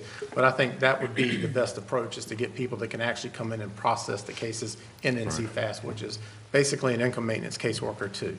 Right. Thank you. Chris? So with the, the temporary workers that we have now, that will be, basically, we've exhausted the funds that were appropriated uh, for those individuals. That will end this week. And so with this um, contracting with the new workers, just to process, basically, they're going to carry through what the temporary workers had accomplished To a certain degree, yes, Correct. because the Okay. temporary workers have prepared a lot of the workforce, Right. saving that time on the- that end, so they could help now move that work forward a little bit. Okay, whenever we um, discussed that with the temporary workers, um, I guess several months ago, was that a thought that perhaps we would have too many cases that uh, could not be processed, that were, I guess they're handling the application process, but then, you know, who would be processing the cases? Right. Well, actually, our, our original proposal was for processing temps. It was for seven months, with one month for training, six months for processing. Um, that, and that's what the state had recommended to us Right. as well, too.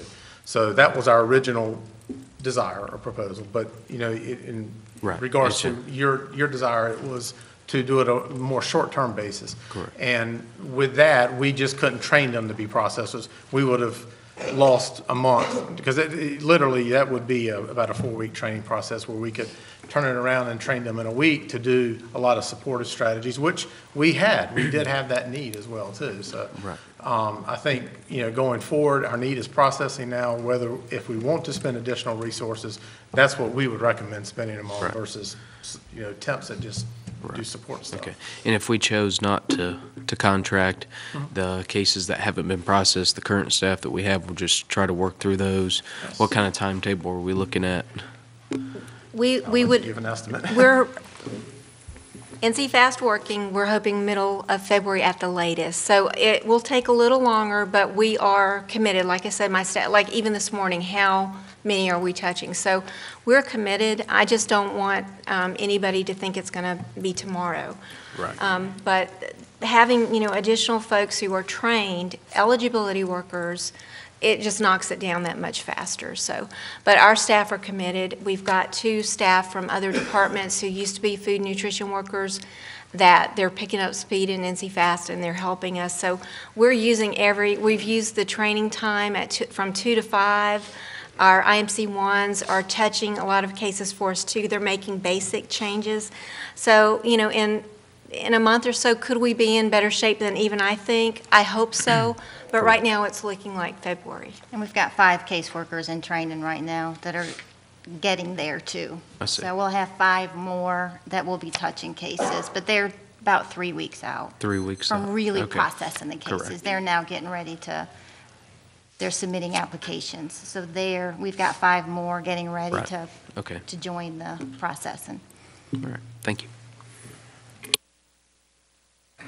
You said you had 1,700 applicants yet, yet to do, right? You're still behind. Uh, Applications and reviews together. How far behind are some of those? Are they like Um, Well, two or the three chart months, one month, um, or what? page 13, um, on page 12, we have 27 applications. That was before this morning. Now I think we have about 14, but the oldest is a July application, and they're about between 27 and 14, 14 and 27 of those. August is really where we're at um, for applications. They're making dents. So we expect by next week that we'll be touching and working um, October.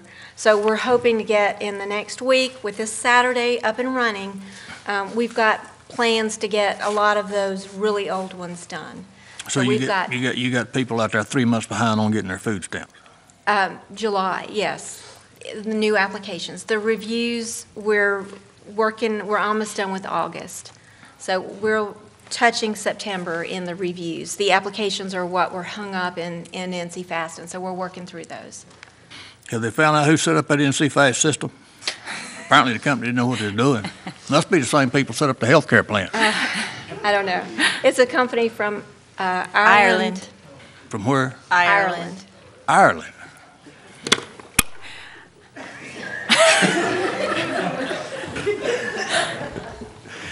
First, I want to thank you very much for um, preparing this comprehensive report for us. This really helps us to understand the issues that you've been having as we've been all becoming experts on NC Fast. We, we pick up some of it along the way, but this is exceptionally helpful to us, so I appreciate you spending the time to do this.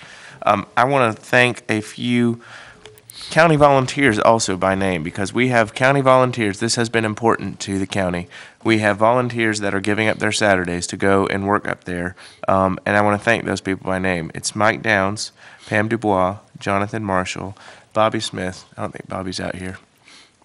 Ann Wilson, uh, Kasha Thompson, Susan Gray, Becky Troutman, and Becky Lewis. And we appreciate your commitment to this. Um, And Susan Gray. Susan Gray, okay.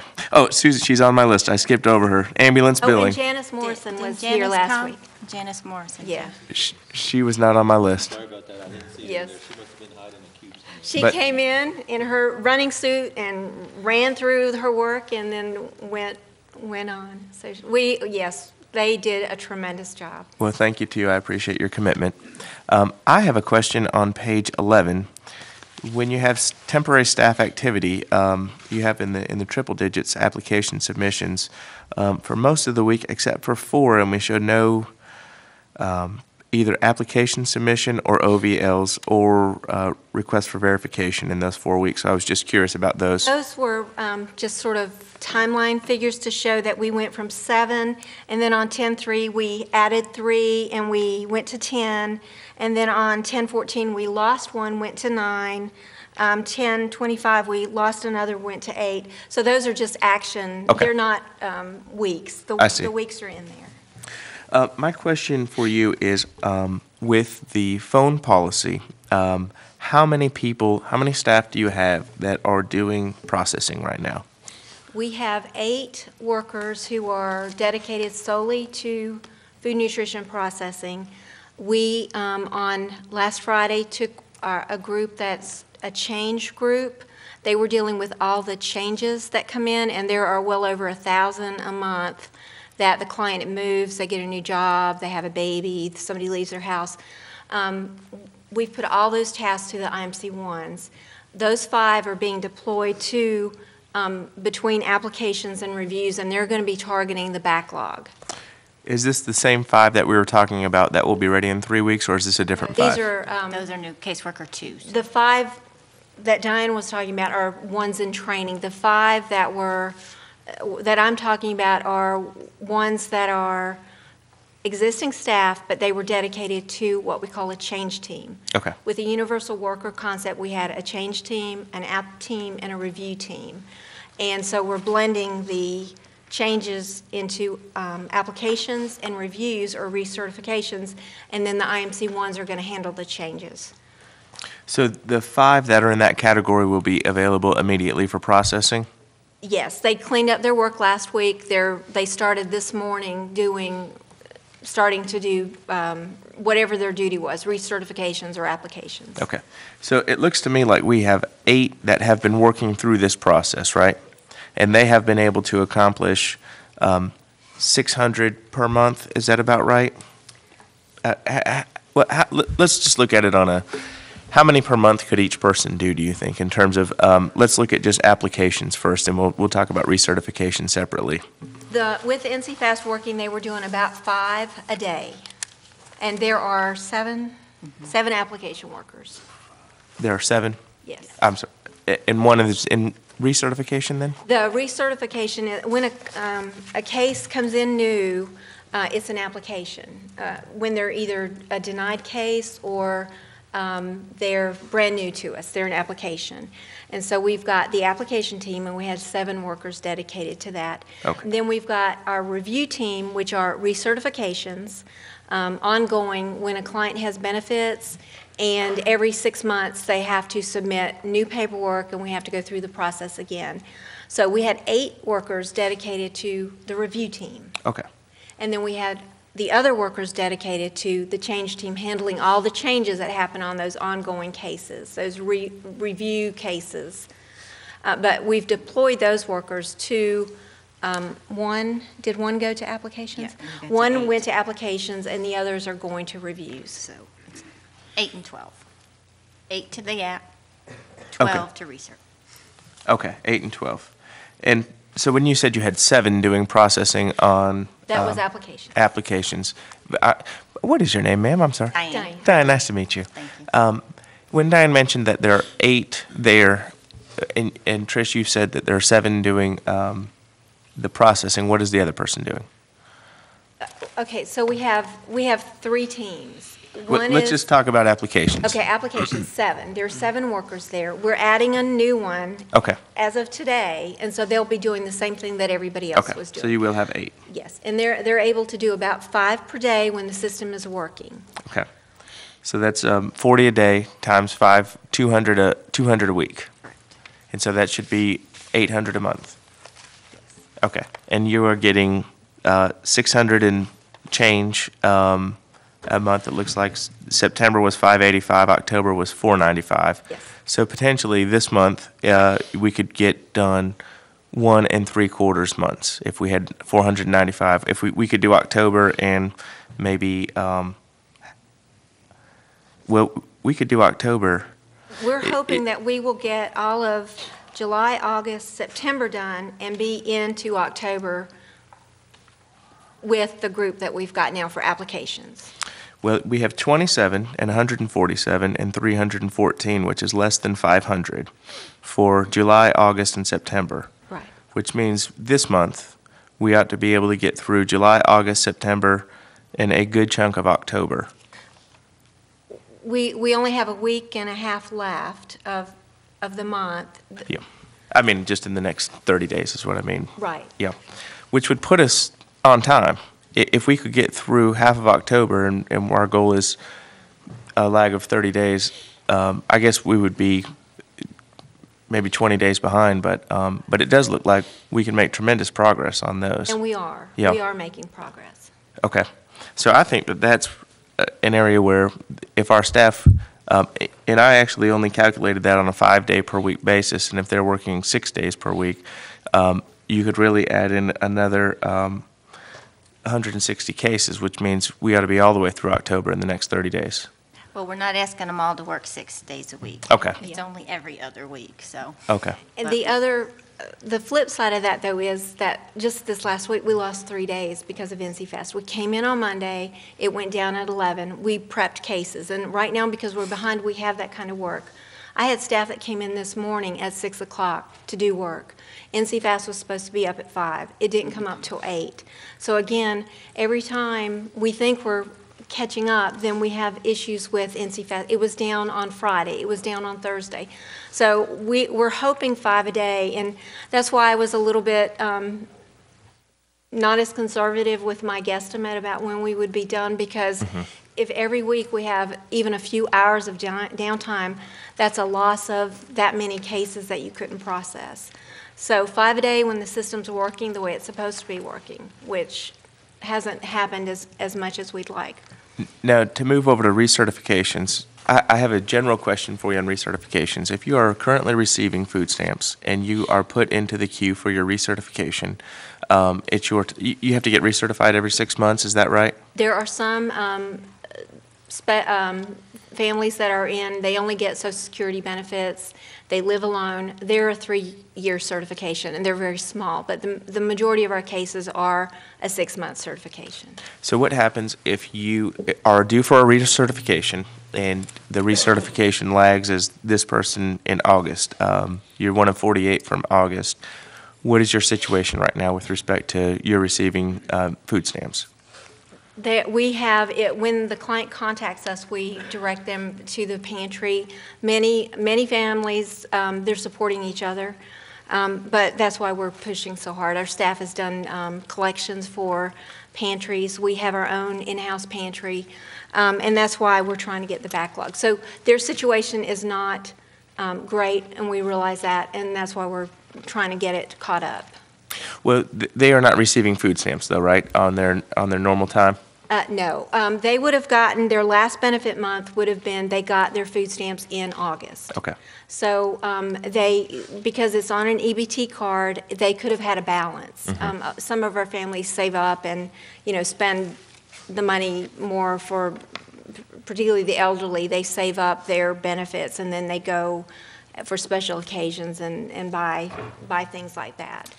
And we Um, do restore those benefits. So it wa- if we process in November, we will go back and issue the September, October, um, and give any benefits that we would have missed for not processing it timely. Okay. Now, in terms of recertifications, you said that you have um, 12 staff working in that department now? Yes, as of today. We had eight, we added the others. Okay, so you are up to eight. That's the, and um, how many recertifications can each staff member do a day? We were figuring seven. Seven. So th- we really should not have any problem with respect to recertifications. I mean, if we're going We're, from. we're hopeful, yes, I Yeah, agree. Yeah, if we're going from um, eight to 12 and they can do more, we'll have zero problem with that. Um, I would say that with, and and this is not including the five more staff that we have coming on board, correct? In two or three weeks, when- once they're, they're training, they will probably go to research first, yes. So they'll probably be going to reviews first, because it's a little easier to follow eligibility when somebody else has already done it. Mhm. So it sort of gives you a guide. If you move them to recertifications where we really don't have a problem, can you push some of your recertifications up to applications? And we've We've talked already about talked that. about, yeah. Okay. We'll redeploy workers So, and over we're to the looking at apps. that daily. I mean, we have like daily um, meetings what, with, you know, what, what are we doing and, you know, pulls people, oh, you can come in at six, you go do this. And so we, we do that daily and we're, we're staffing it on Saturdays. You know, we're, we're looking at it day by day, real time. So we're trying to make sure we get the, the most work done in a given day. hmm Well, I am comfortable with the fact that um, on a five-day per week basis, I suspect that you'll get caught up very quickly. On a six-day per week basis, you'll get up ex- very quickly, and that's with the staff that you have now. To add five more in two to three weeks, I, I think that you'll get it done. I have confidence in your department. Thank you. Hey, but what, what you are asking for, for us to consider today is fourteen thousand and eighty dollars to hire two people, um, two contracted eligibility workers for input, um, to work through approximately mid-January. Because that's what, the- that's the need that you see. Based on, to allow our staff some, you know, Holiday. right. Um, You know, I, I trust, um, trust both of, all three of you. I trust that your staff is working very hard, and I trust that, um, based on the actions of this board the last two months, that you wouldn't come and ask for something if you didn't really think you needed it. So, um, I'm glad that everybody's working hard and that everybody is doing, um, extra. And I appreciate everybody going in on Saturdays and coming in early and everything else. You can't do anything if the system's, well, not anything, but you can't do everything if the system's down, and that's out of your control. So, And just, just one quick follow-up on that. We have been starting to see a lot more issues with the system, and we do have concerns that may continue as Medicaid rolls out. That's part of what was going on today with the chatter about, let's put a freeze on this. So just do be aware that even if we, if you approved two processors, if the system is down, they can't process. And that's, that's the one pitfall that we have in this, and we can't, as you say, we can't predict that. And if they're not able to process and they were there, what would you do with them? If we had other work like the temps had, we would probably give them that, or we'd send them home. We'd have to, because of the dollar amount we're paying, we would send them home. Okay. Um, I have not discussed this with, with the other commissioners. I have no idea um, what your opinion is as far as this ask. Um, With that said, I will make a motion that we approve $14,080 to hire contracted eligibility workers um, in light of the situation that they've been facing all along, and the funds would come from contingency. So I will make that as a motion. Um, If there's a second, then we can continue discussion. If not, then it will, of course, die for lack of a second. So is there a second? Okay, there's a motion and there's a second. Any other discussion? Anybody have anything they want to add?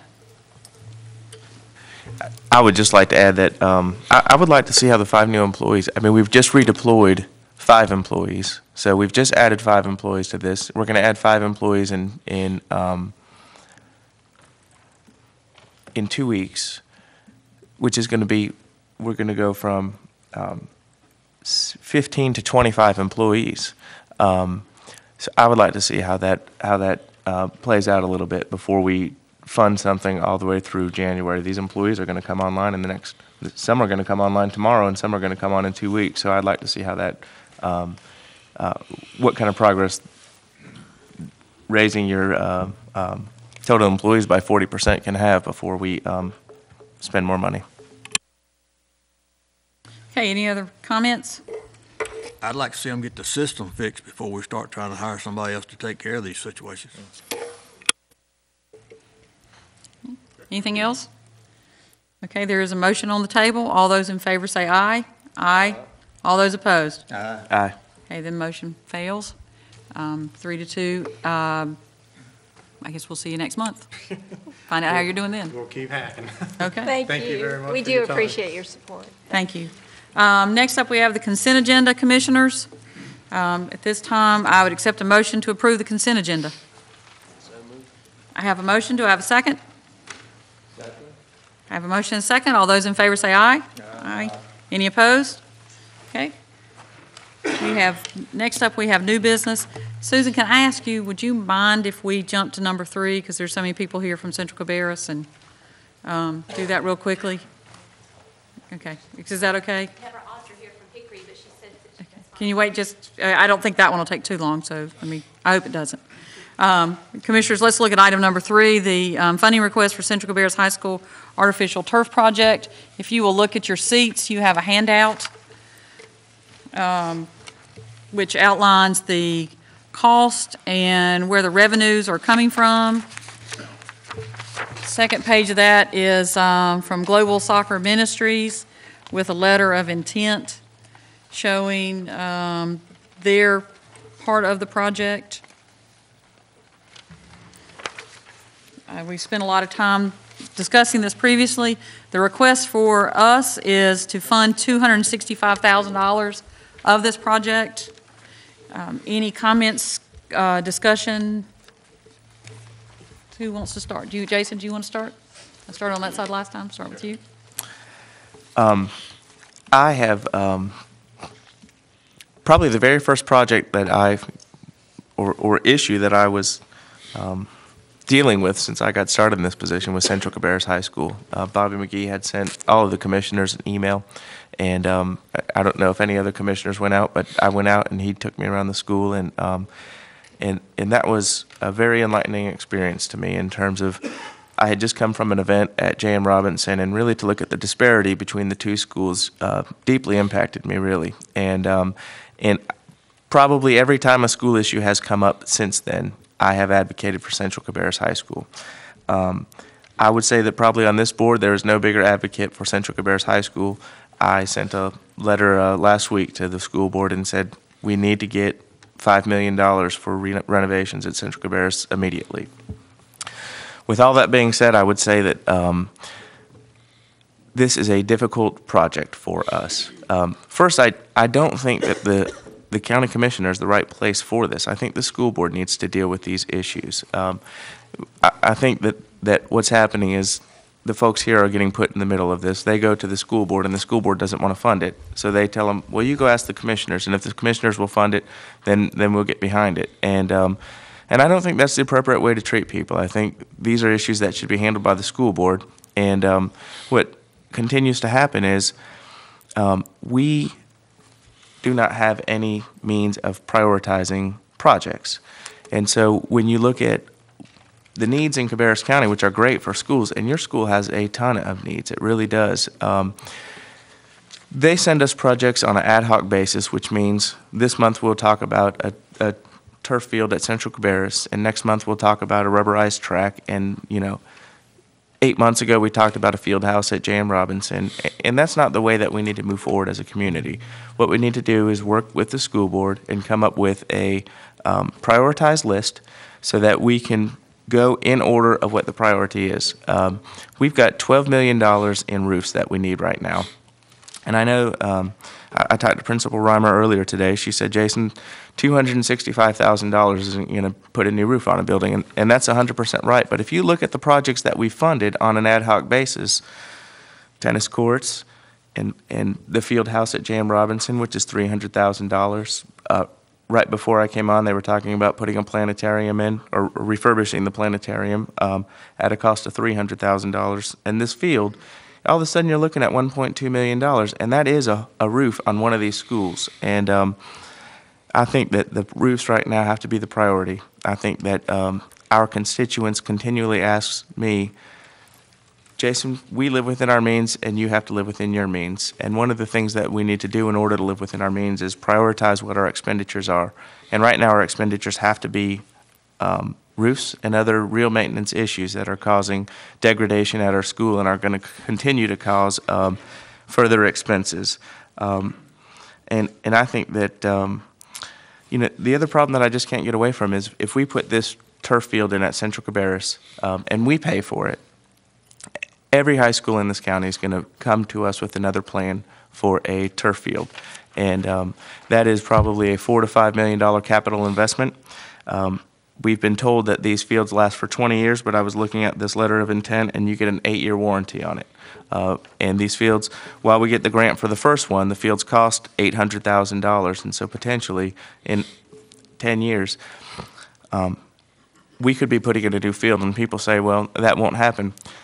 The roof at J.M. Robinson is two and a half million dollars, and we need to put a new roof on J.M. Robinson that thir- that is 13 years old. Um, so we need to be exceptionally um, aware of the capital costs and the maintenance of the capital costs that we put in. And um, I just don't think that we can afford to spend four to five million dollars on turf fields at every school, and I don't think that we can afford to maintain those things. Well, my concern is, I thought these fields were supposed to last for such a long time, and to see an eight-year warranty on here, uh, and the other thing I think is this, this should be a school board issue. I don't think it should even be before the county commissioners for the funds. I think the school board, if it's gonna be done, they'll take the funds out of the school board's, uh, funds.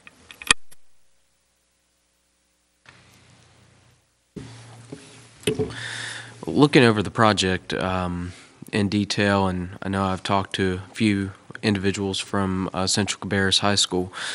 You know, I, I do understand the frustrations um, that you know you see projects going to other schools, as it was mentioned in the public comments that you know Northwest receives a gymnasium, uh, Concord's received some things. J.M. Robinson, um, you know, there's a there's there is a big disparity among the schools, and that is one thing that you know we can't so much help by modernizing every school. You know, because as soon as they're built, they're going to um, in turn become older schools, and that's going to happen. But I do feel like Central Cabarrus has been left out in the projects.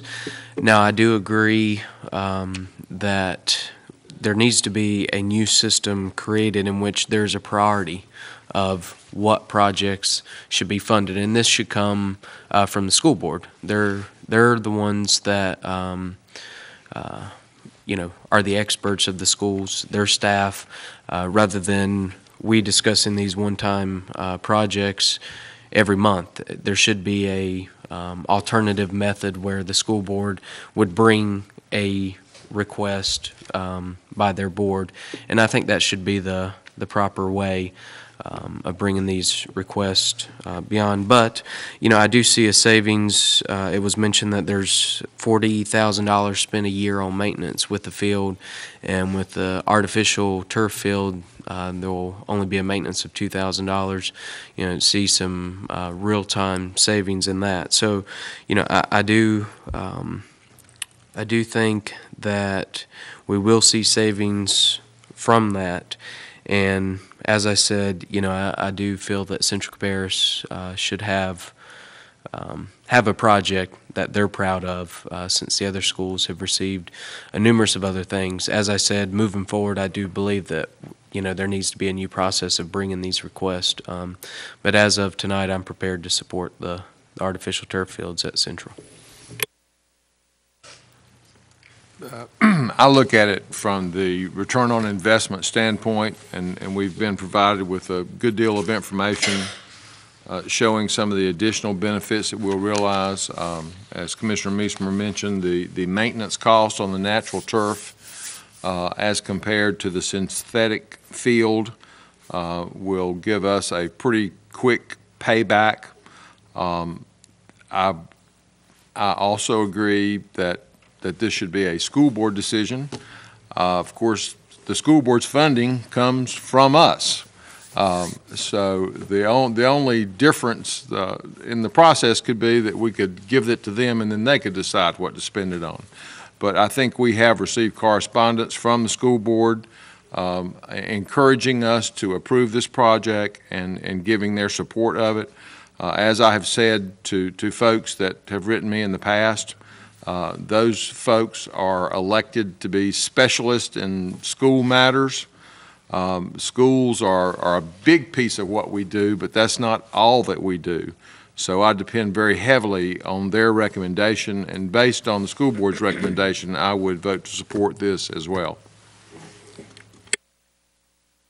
Okay, um, as I understand it, uh, you guys have done a lot of work trying to get some costs, some firmer costs. I was concerned at our work session that you were talking about all the grading that needed to be done and, um, fencing and some different things, but we, you didn't have any hard numbers for it. And that's the part that worries me more, is that, um, you've got all these plans in place, and then you came up, if you were to come up seventy-five hundred thousand dollars short, what are you gonna do?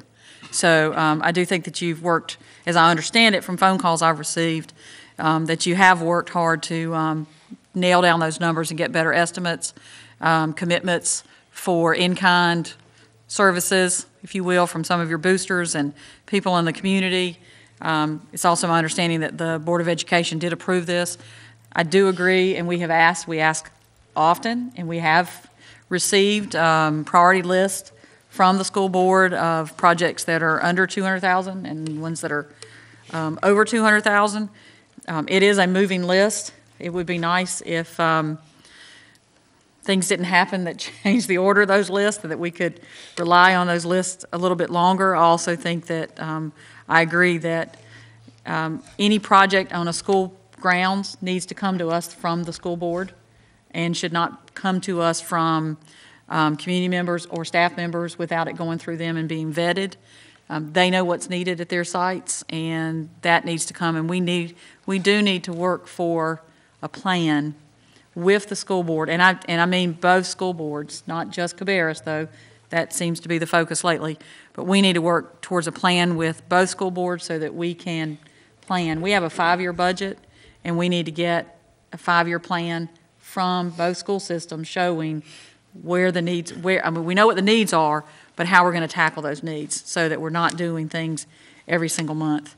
Um, I would be in favor of the project um, if the motion is that um, the school system has to have everything else in place so that our 265,000 finishes the project instead of starts the project, which I think they have in place, um, just because that's what this is for, and that the, the funds would be limited to this particular project.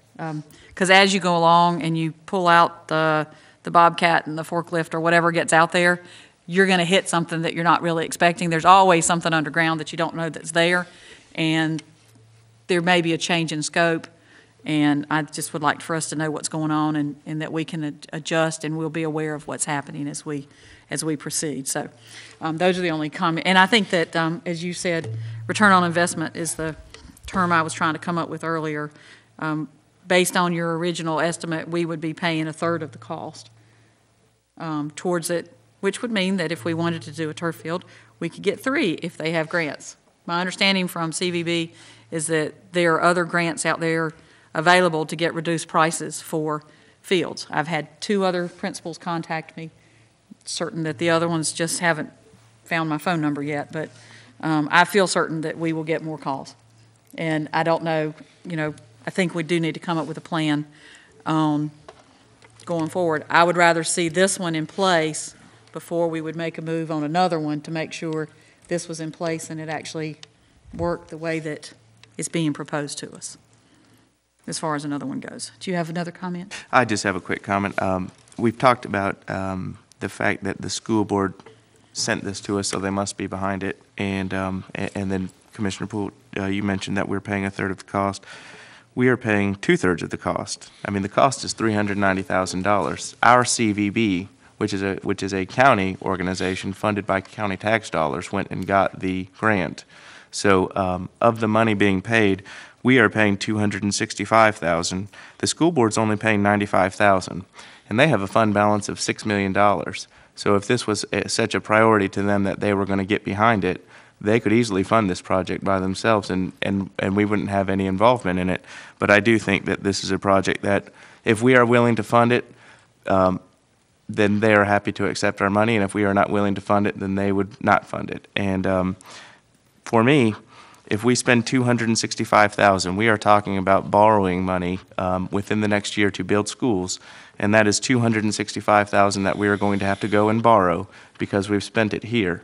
And we're going to have to spend it on roofs and things like that, and um, I would just rather take the money and spend it on a roof than spend it on a field and then borrow the money for a roof and put the county further in debt. We, we owe $469 million in principal and interest, and I, I don't want to see us go further in debt. Okay, um, is there, does anyone wish to make a motion concerning this item of the Central Cabarrus High School artificial turf project?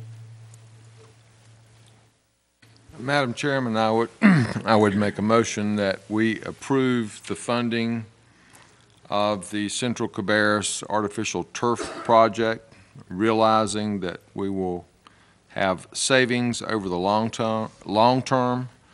Um, The max, I would include in that, that our, our maximum expenditure on that would be, and what was that figure? 265, $265,000, uh, which uh, hopefully would, uh, would, would cover the cost, but sharing your concern of any cost overruns, that would, that would be something that they would have to make up elsewhere. Uh, But I do make that inform, I do make that informed motion. Okay, so we have a motion. Is there a second? Second. Okay, there is a motion and there is a second. Um, All those in favor, say aye. Aye. All those opposed? Aye. Motion carries three to two. Okay, um, I appreciate you guys being patient. Uh, Next, let's go back to G1, which is the presentation of the fiscal year 2013 comprehensive annual financial report.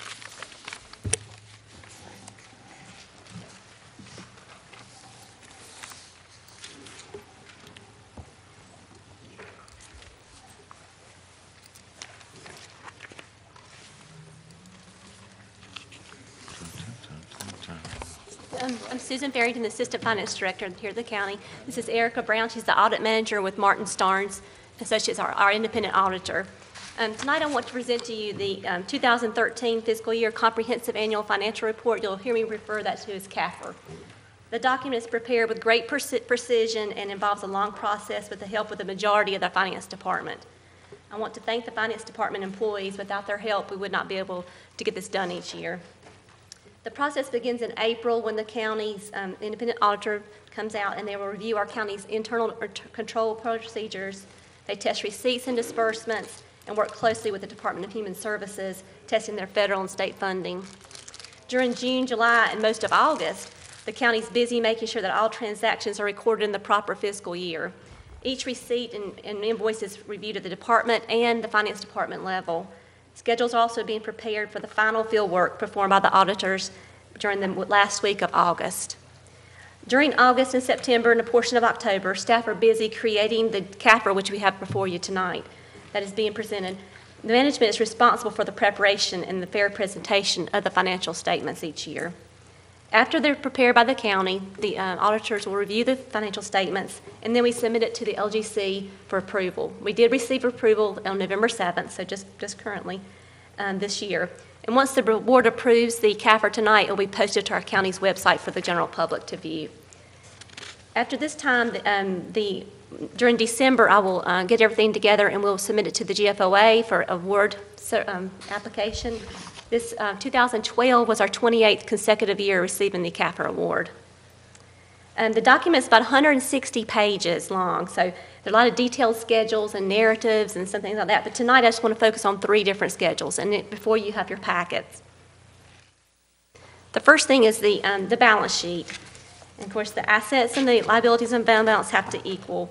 And um, as you go down, you you can, you can see our cash and our liabilities, are different things that we owe, and also the fund balance. That's always the thing that a lot of people want to hear about is our fund balance. I will take a time, a little bit of time, a couple slides later, to talk about fund balance. So at this time, do you see anything that you would like to ask me about, about the balance sheet? Okay. Going on um, is our income statement.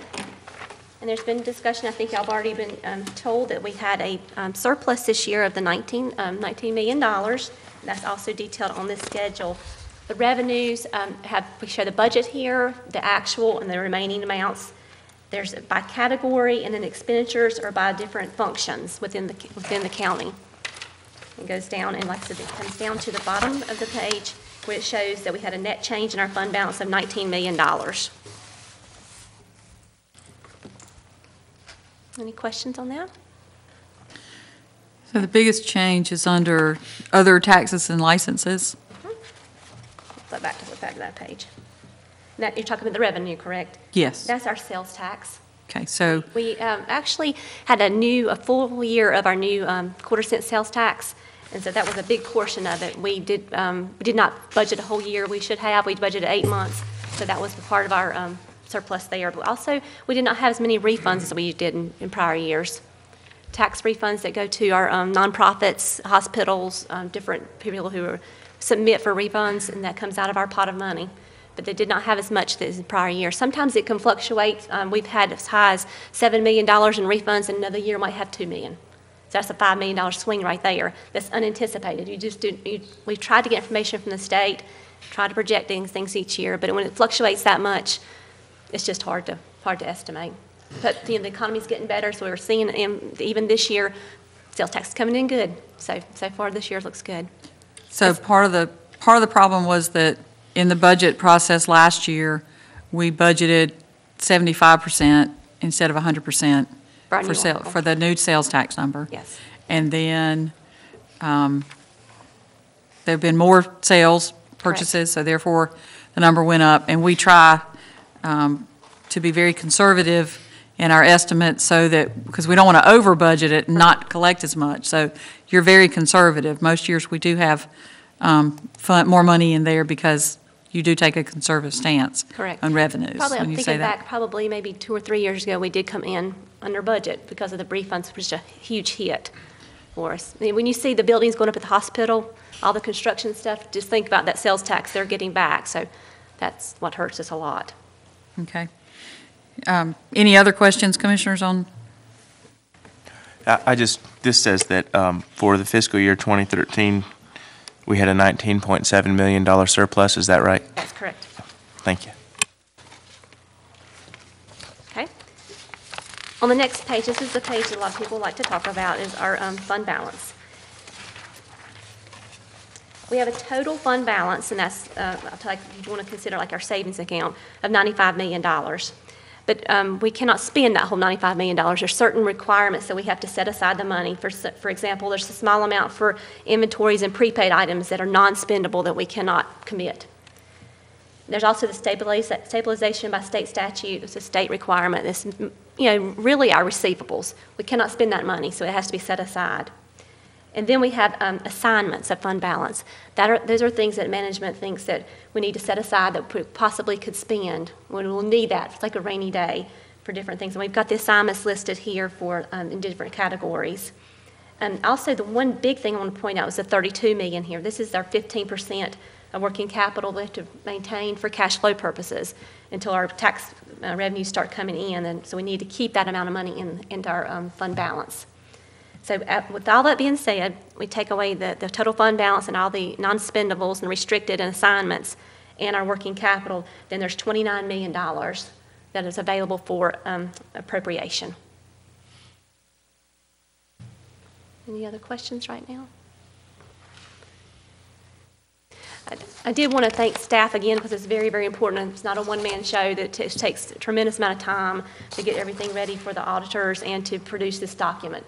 Um, It gets reviewed several different, you know, even in Erica's office, it gets reviewed several times. The LGC, you know, looks through it, so it's, a- it's a lot of work. So I'm going to turn it over now to Erica Brown, which is Martin Starnes, our independent auditor. Her slides.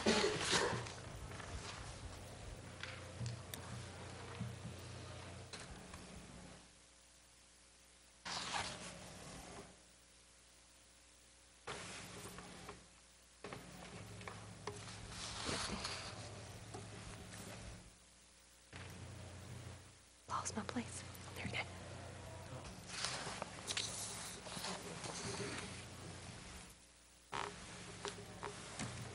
Okay, there we go.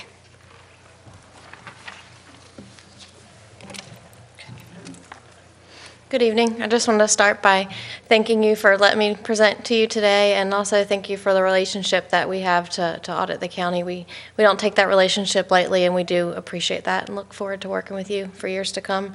I also want to thank Susan, Shelley, Ann, and, and all the staff in the finance department. They do an amazing job. They're always well, very well prepared for us, and that makes my job easier. So I really do appreciate what they do.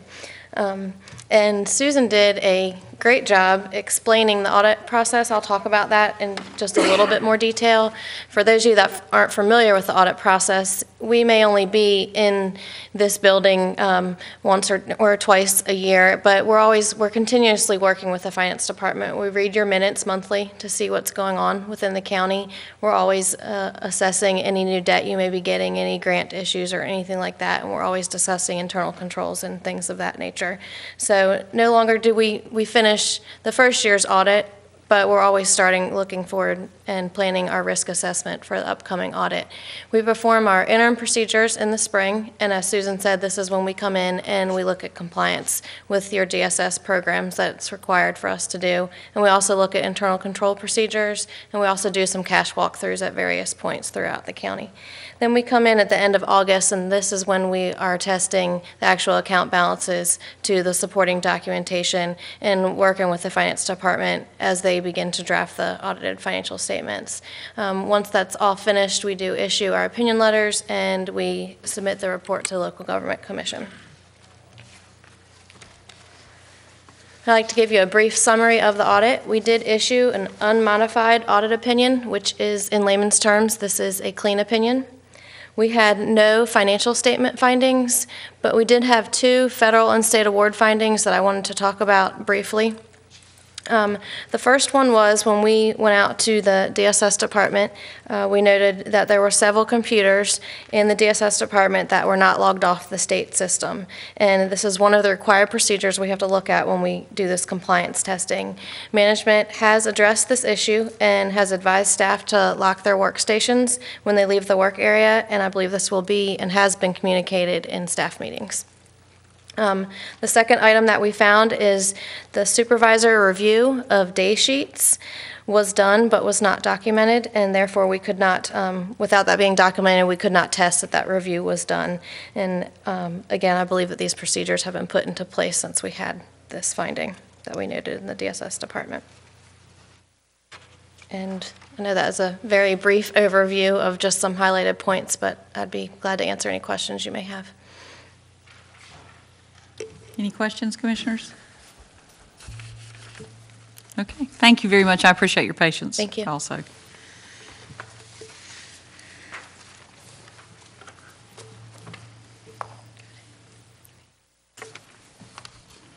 Okay, the next item we have is uh, G4, uh, Jonathan Marshall. Madam Bobby Chairman? Smith. Yes. Need a motion I to accept the report. You're right, I'm sorry. We do need a motion to accept the fiscal year 2013 comprehensive annual financial report as presented. I have a motion, do I have a second? Second. I have a motion and a second, all those in favor say aye. Aye. Any opposed? Okay, thank you. Okay, next we have um, Jonathan Marshall and Bobby Smith. Is Bobby here hiding? Um, Stephen Langer is here if you Stephen's should have any questions of him. But this was an item that we had brought to you at your work session for your input. Um, We had some, I believe, overall consensus and averaging as we looked at this, that, to look at, examine two emergency hydrants for the Northeast Fire Department. And Actually, when Stephen worked with our GIS division to map that, we found that we could cover 70% of their district within the radius we were looking for with the, with two hydrants on 49, and really the remaining part of their district that we can't cover is because of its distance from 49. So, so really, any other hydrants on 49 wouldn't, wouldn't aid in that. So we would be looking at helping them with some dry hydrants for those areas.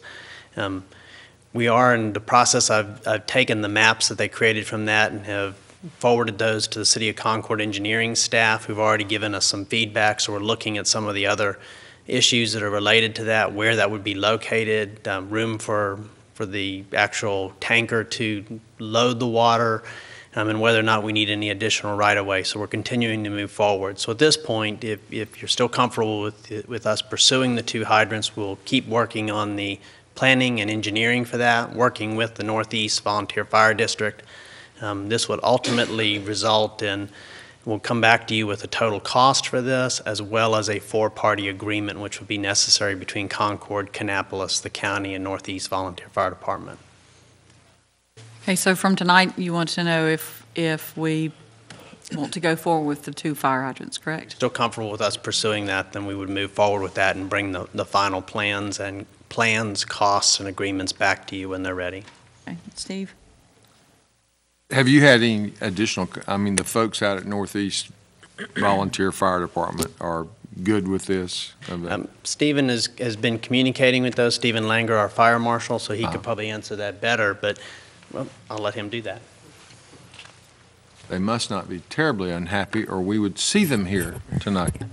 Yeah, I've uh, spoke with them through emails with the uh, board president and the fire chief, and, um, you know, the fire chief expressed, you know, gratitude and, in working to try to bring the hydrant, so you know, whatever they can get to help them with protection, they're, they're happy with, and happy with the intersections that we've looked at.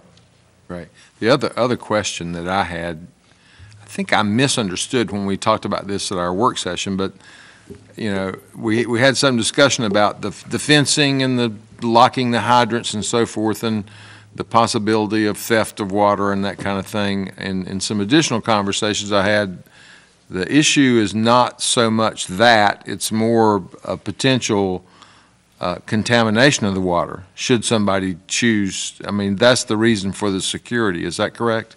That is part of it. It is also to make sure that it's only being used for fire training and actual firefighting Right. use. So it's both, because it is a remote area, so there is a security issue with, with being able to tie into those lines with any contaminants, but also that it can only be used for the firefighting, which we will advertise heavily, because I think as someone, one of the commissioners noted, you, you do see on some systems metering and use of water by pressure washing companies, other private companies. This will not be available to them, only for the firefighting. Great, thank you. Well, it appears to me that not much has changed since our last uh, meeting two weeks ago, and I was fine with it then, so I'm, I'm fine with it now. Yes, I'm good with two. My, my only question was, uh, there was a question of whether um, these two fire hydrants would fit within our right-of-way and that, um, which would allow us not to have to acquire any more land for this. Have you um, been able to figure out if that's accurate? Um, that was one of the concerns that we're going to have to, study further, particularly one, at one of the intersections, and I believe it's the one at Lentz Harness Shop. There's some topographical issues where we would need to, to get a little bit further off the road, and that could require some additional right-of-way. Um, the other option that, that I'll then explore with them is, is whether or not it's possible to bring, because this will be tied into the line, but, but have a lateral, and whether or not it's possible to bring the lateral to the south side of 49 where there is right-of-way available. So those are some of the things we'll explore when we get you those total costs. Okay, good? I'm good. Okay. So I think we're good with two, and uh, we'll look forward to get your information. Um, The next one we have is the requested changes to the Flowes Store Fire Protection Contract. As you remember from our work session, um, there was a request to change the contract. Um, Jason, I'll start with you. Any comments? I do have comments, actually. I um, went, after our meeting, we, we spent a, a good bit of time on this at our meeting, and, and probably more time than um, what most people would think was necessary. But through speaking with Mr. Nichols and, and speaking with um, um, Mr. Langer and, and Bobby Smith, um, it, just occurred to me that there was some, some ground there that I thought that we could um, come to and, and respect uh, Flowes Store's autonomy. They are a proud serving volunteer fire department and um, also um, achieve what the, um, what the county was looking to achieve in terms of um, um, having some accountability for tax dollars. And I, I start, talked to Mr. Langer and Bobby Smith on the telephone last week and talked to them about a, a compromise here. And um, I proposed to them that um, um, we set a threshold at which um, the Flowes Store would have their own autonomy and they could purchase things. And um, above that threshold, um, they would have to come and get approval. And um, our, our fire guy said that as long as um, air packs were not included within that discretion, and that was for purpose of having uniformity and for some OSHA requirements, that, that they would be happy to be flexible with it. I spoke with Mr. Nichols, and he said that he would be flexible with it. And um, so they both agreed that at 50000 um, up to $50,000, uh, excluding air packs, um, Flowes Store would have the opportunity to buy anything um, after consulting, but um, I just want to look at the language here. Um, But, but not approval, consulting, but not approval for up to $50,000. And then for 50000 and above, um, and air packs, they would agree to um, get prior approval from the county fire marshal's office. So I, I thought that that was a fair compromise, and I'd propose it to the board that we move forward that way. The volunteer fire department, I don't have any problem with them making their own decisions. I think they should be allowed to do it because they're volunteers, they're not paid, most of them aren't. And uh, that should be up to each fire department as to what they want to do within, you know, they, they have to do certain things. All fire departments should do the same thing as far as buying equipment. but they should be allowed to make their own decisions, I think.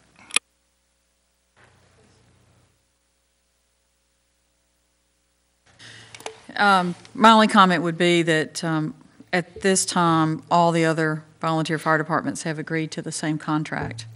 So um, I don't have a problem with your proposal. I just think that that should be a part of everybody's contract. And if we can go through this year with the same contract that everybody else has approved, and then make the change for next year for everybody, I would feel more comfortable with that.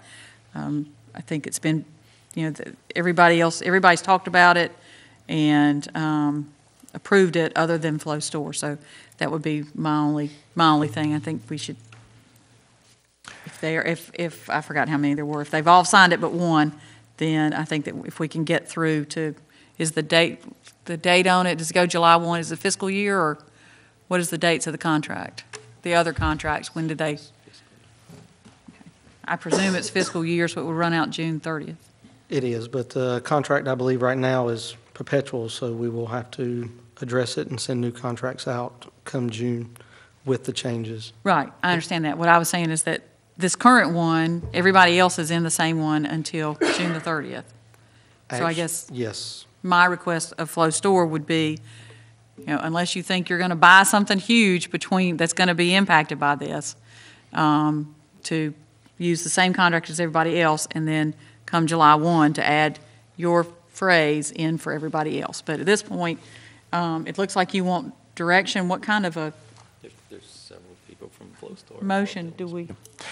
Eh, Mr. Nichols, you want to come And up? Chairman, I would say that I talked to both Bobby and Steve about this, this precise issue today, and they didn't have any problem doing this at this time for, um, for Flowes Store. Flowes Store has an outstanding contract that they haven't signed, and, um, there had been some other grumblings from other departments, and, um, one of the things that we were able to discuss was the fact that this would be a workable, um, solution for all of those departments, um, that they could all basically opt into this, and, um, we could do that uh, i- If the other departments require uh, or or are interested in opting into this immediately, you could do it with a very simple amendment contract. Rich could do it in less than a paragraph, and they can opt in, or we could wait until July 30th or June 30th, and when they want to re-sign theirs, they can, they can opt in at that point. But, um, and I don't think it's an issue of a big purchase, I think it's an issue of, of little purchases right now. The problem, if they wait until June 30th, all little purchases, they have to run through the fire marshal's office, and they will make some of those, I suspect, and um, that, that, I think, is really the pressing need for doing it now.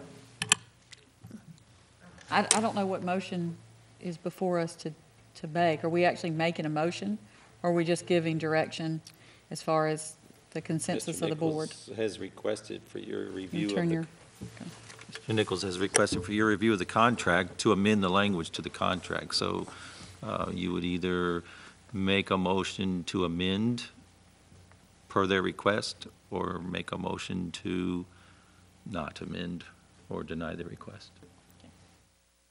Do you want to add something, dear?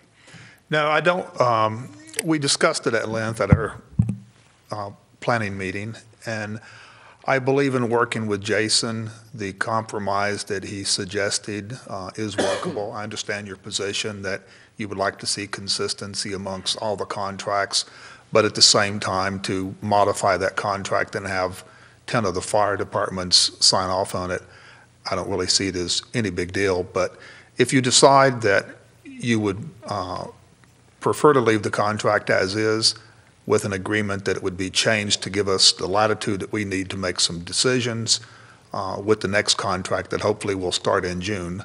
Uh, We're prepared to accept that. It would start July 1st. Yeah. Yeah, run through the end of June. So- And I will add that, you know, we have established a subcommittee from the Chiefs Group uh, on the contracts, and um, we'll be actually having our first meeting in January to go through the contracts and the fire study and the recommendations from the fire study, and uh, make sure, you know, all that's addressed and covered in the contract. So, you know, I'm sure there'll be some more stuff that we'll, we'll have to bring forward to change, so that shouldn't be an issue. Yeah, and, and I don't disagree that, I mean, I think that's a, it's a, it's a good suggestion. I think um, we were at a point where neighboring departments were doing things so differently from each other that when when multiple departments were called in, that, you know, there was a real problem, especially as, as I remember with the, um, with the oxygen, the air tanks and everything, because they didn't, they were not compatible. So I know you've been working really hard to try to get uniformity so that, um, you know, so that you can be able to help everybody else. And more importantly, I guess, if somebody else has to come and help you guys, that you guys have it. So, you know, there's, there's a reason behind it. Um, At, at this time, Commissioners, as you've heard, we just need to decide how we want to proceed. So, I, I just have one more question for Mr. Nichols. Do you have a preference in terms of would you like this contract to have the terms? I- If you don't care at all, we'll put it for June, July 1st next year. If you have a preference for this year, then I'll make a motion to do it for this year, whichever your preference is. I think we can live with either decision. Uh, There's nothing that we anticipate purchasing immediately. Uh, And I trust that the fire marshal's office will work with us in the meantime towards any equipment that we need to purchase. So I'm, I'm comfortable in waiting until the next contract. okay, we need to have some type of a decision made. Well, I- I'm assuming that if, if they're good till then, if we do nothing, then it will automatically come back up when those contracts are to be renewed, correct? we would do now is then give them the contract that we have uh, created and have them sign that contract, and then uh, come January, do a new contract. Right, and, and so then when it comes before us for a vote, we'll have a contract that has input from all of the chiefs of all of the vi- volunteer fire departments, so it would be consistent with each one, That's correct. correct? So, uh, yeah, that certainly would be my preference, that we do nothing until that time, unless we need a So motion. we'd have a new contract July the 1st, is what, that's where you would, July 1st. That's what I mean. July You said 1st. January. I just want to make Oh, sure I'm we get our sorry, dates right. That's July okay. 1st, yeah.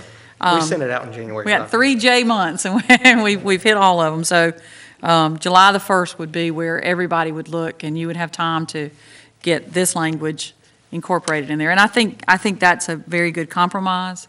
I'm not saying that that's not the case. Um, I also know that, you know, we do need to have some uniformity, and I do agree that their volunteer fire departments, um, they're doing it as, um, I don't know if this is the right term, an arm of the county. I mean, if they weren't there, we would have to have fire department. So um, I do think that everybody has to work together, and I have complete confidence that that's the case and that, um, you know, that we can move forward. So Commissioner Morris' suggestion is that we, um, do we have to have a motion to deny the request to Uh, Rich, change? How would you feel then? Rich, or do we, what do we do? Well, I think you can do it either way, uh, by taking no action or, um, or voting not to change the basic contract. I think it's really up to Mr. Nichols. If he's representing that they're going to go ahead and sign the standard contract, then I think it takes care of the issue in that way, actually. If that's, and they're going to look at the new one when it comes up uh, next July. This contract actually doesn't have a term to it, but it does, it does have a provision in it that either party can terminate it for any reason on 90 days' notice, and for cause on 30 days' notice. So it's, you know, if there was some issue that came up, um, they could certainly ha- have those options as opposed to uh, just signing a new one in, in uh, July of next year. I would say that I have no desire for Flowes Store Volunteer Fire Department not to be in existence, okay? That would be a bad thing if you were not in existence and you're not out there doing what you've been doing for this, uh, quite a long time.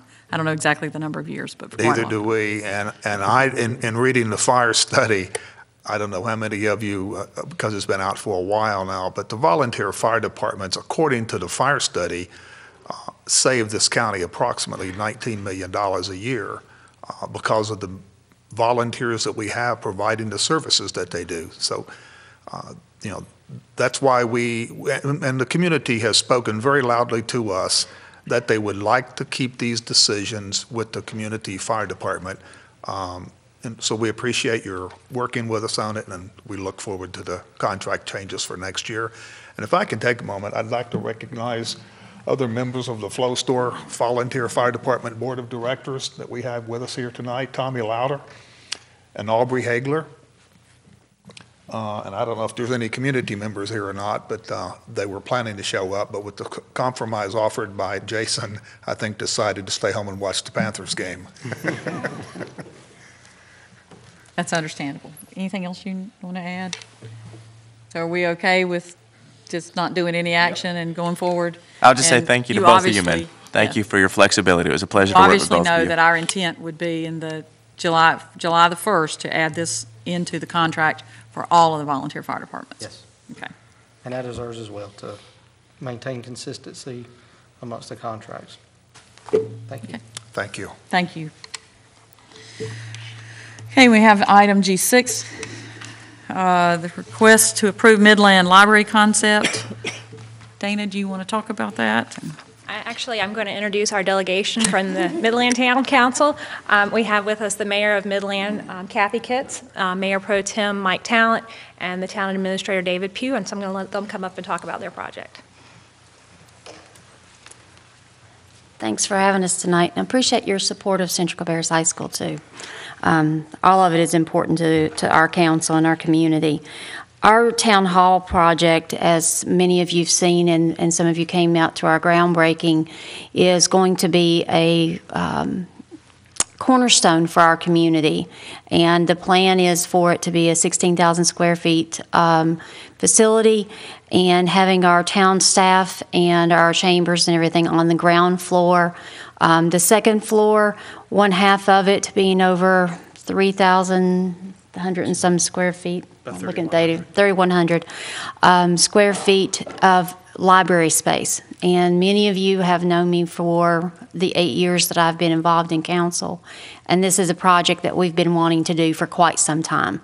And the, the town is um, working on the project itself, uh, building the building, doing all the groundwork, doing all the other things. Um, the Friends of the Library have been formed for our uh, Midland Lab- Library. We are working on various projects, getting ourselves going, getting our bylaws and all these other things done as well. Um, Myself and Mike Talon are uh, part of that group, and we also have um, a lot of fundraising opportunities to, to, to raise funds for the upfit of the uh, facility. Um, and the, the town is going to be doing the hallway, the bathrooms, all of the other things on the second floor, and the elevator, and all the other key things that we've got to have. The Friends of the Library is responsible for the inside of the building, uh, of the space, and we will be doing the um, paying for the drywall and on all the interior and everything. So our request to the count, uh, to the county commissioners is to consider in your upcoming budget um, to fund the positions that are needed in order to um, work the library, run the library, and we will have volunteers that are coming out of the woodworks, um, wanting to help out in the library space. So we, we ask that you please consider this request. Um, the town is willing to work with you on whatever other dynamics we need to have as far as discussion on what goes in the places and all that stuff. Dana is very um, apt to, to talk to us about those things and make sure we're doing the right stuff. Um, and we brought her in early on to make sure we're doing the, the right setup and the right, um, I guess, structure uh, for a very nice library for the uh, residents of Southern Cabarrus County. Um, we've made it known that it is not just for the town of Midland. Um, it is for the residents of Southern Cabarrus County that have to, one, pay $25 to go to Stanly County and, and the Locust Library to get books, or they drive to, to Harrisburg, or they drive up to Concord. Um, so, and Mint Hill. So they go to Mecklenburg County as well. So, you know, this is this is a um, huge project for all of us, and I hope that you will uh, consider that that funding for those those individuals and what they need in order to run that facility. Anything else you guys want to add? Um, just the, and I, uh, Mr. Downs did, did they receive a copy of the motion that council, um, passed? Because I know we wanted to get a, so they, Dana, they did, okay. And council, just, uh, just to, uh, reiterate, they did pass that for, um, nothing. So it was Yes. unanimous. So, any questions for me or the rest of us? Jason, do you want to start on this one? Do you have any comments or Uh, questions? I, I think when we had talked about this at the work session, it was just, um, there was a lot of, um, moving parts to it still in terms of how are we going to, um, allocate costs amongst the town building and it. it- We'll and- work that out as we come to it. Absolutely. And- There's, and I- there's no answers to that right now, Jason. To be honest with you, I, if I had answers to that, I'd be rich right now. for- Sure. For a lot of things. That wasn't uh, um, a problem that I was having with it, just um, my, my understanding from, from the uh, work session was that this was basically an agreement to move forward with the concept and that we were not um, um, talking about any particular numbers at this point. point, and um, I, I support this project and would love to move forward with it. Thank you. I'm in support of it. Don't have any problem with it whatsoever. Perfect. Uh, just as we had discussed at the work session, uh, you know, I'm prepared to move forward, and I know the details, you know, haven't been worked out, and I don't Right. think that anyone's, you know, want to discuss that this evening, but I, I know the staff will work on that and Right. look forward to seeing the plan. Perfect. Well, I have the, pr- the privilege of serving on the library board Mhm. as well as being the liaison to Midland. So to both of you, w- job well done. Um, I'm very excited. Um, I've had, had the opportunity to talk with some of the, the other friends of the library. They're very enthusiastic and excited about it. And so I think it's a great project for the southern part of our county and for Midland. And, and um, I certainly hope that I can do anything possible to help you as you go through that process. Appreciate that. All of the Friends of the Library have volunteered to help us. Some have actually donated books that were left over from their book sales and just a lot of things um, coming out of the woodworks to help us, and that's what we're really excited about. And my only comment would be that um, Commissioners, by um, letting them know that we want them to go forward with the concept as we begin our budget talks in January, and we're identifying um, the priorities of this board, then um, we are committing that we will be addressing that issue as they get numbers, and that it will be part of our budget process. That's what they're, that's what us saying to go forward with actually means. So Right. there will be a budget impact, we just have to get the numbers on it, okay? But we're saying that we are willing to go forward with it, Right. so. I appreciate that. Um, We don't if- need a hard motion, though. Correct? They, they might, uh, Uh, We would like a formal motion if we could. Okay. That way, we're, we're covering all of our bases, and if anybody says anything, we can say we got it. Okay, so um, the requ- requested action that we have, uh, it's page 172 in your agenda, is to approve Midland Library concept and begin negotiations with the town of Midland for the operating costs. Do I have such a motion? I I move that, um, that we send this message to Midland, that we approve in concept the, the library uh, project and, and intend to work with them to refine the numbers as we go forward. Okay, there is a motion and there's a second, and I will draw your attention, I'm sorry, I forgot, that we do have a handout at your seats that show um, some of the county expenses. They're not exact at this point in time.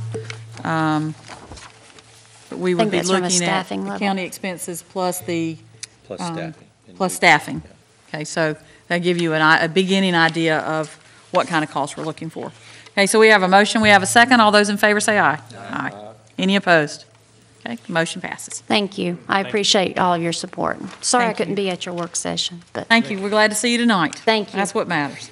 Um, Next, we have, uh, that concludes our new business. Now we have appointments to boards and committees.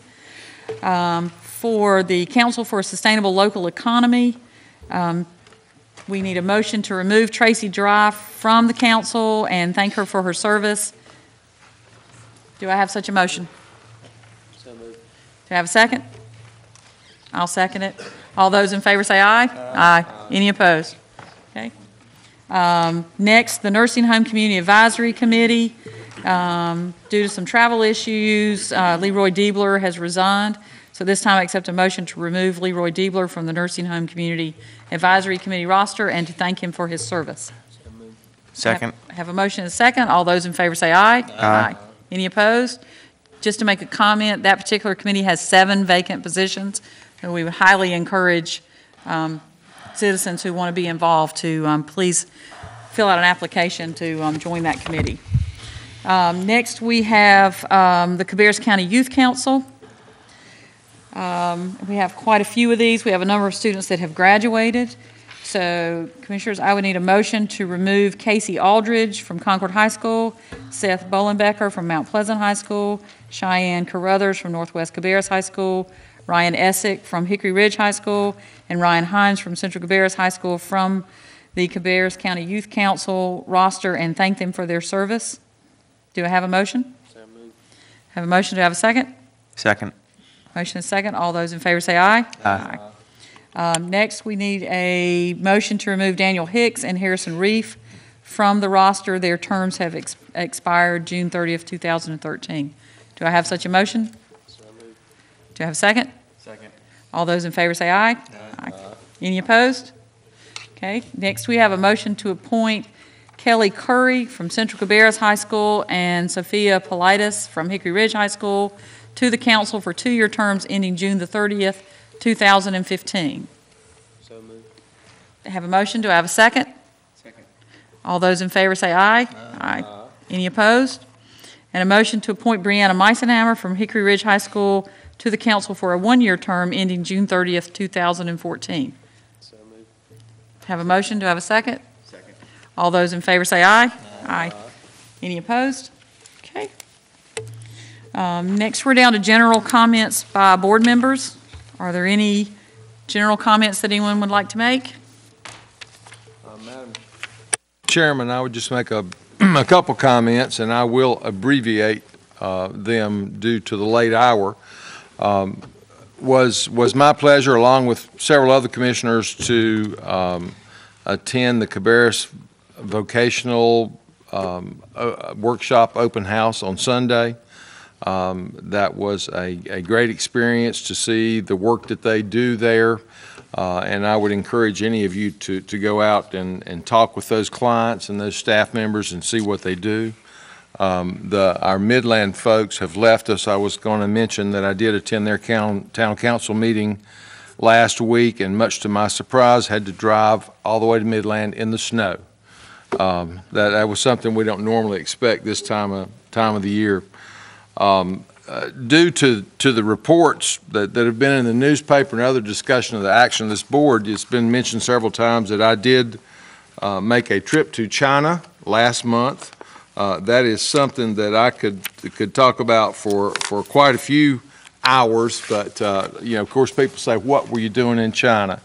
Uh, So I wanted to mention that very briefly. Um, I was there with a group from the Center for International Understanding, which is part of the University of North Carolina system uh, that puts together sponsorships for these trips. The focus of this trip was North Carolina jobs in the pharmaceutical area and medical device industries.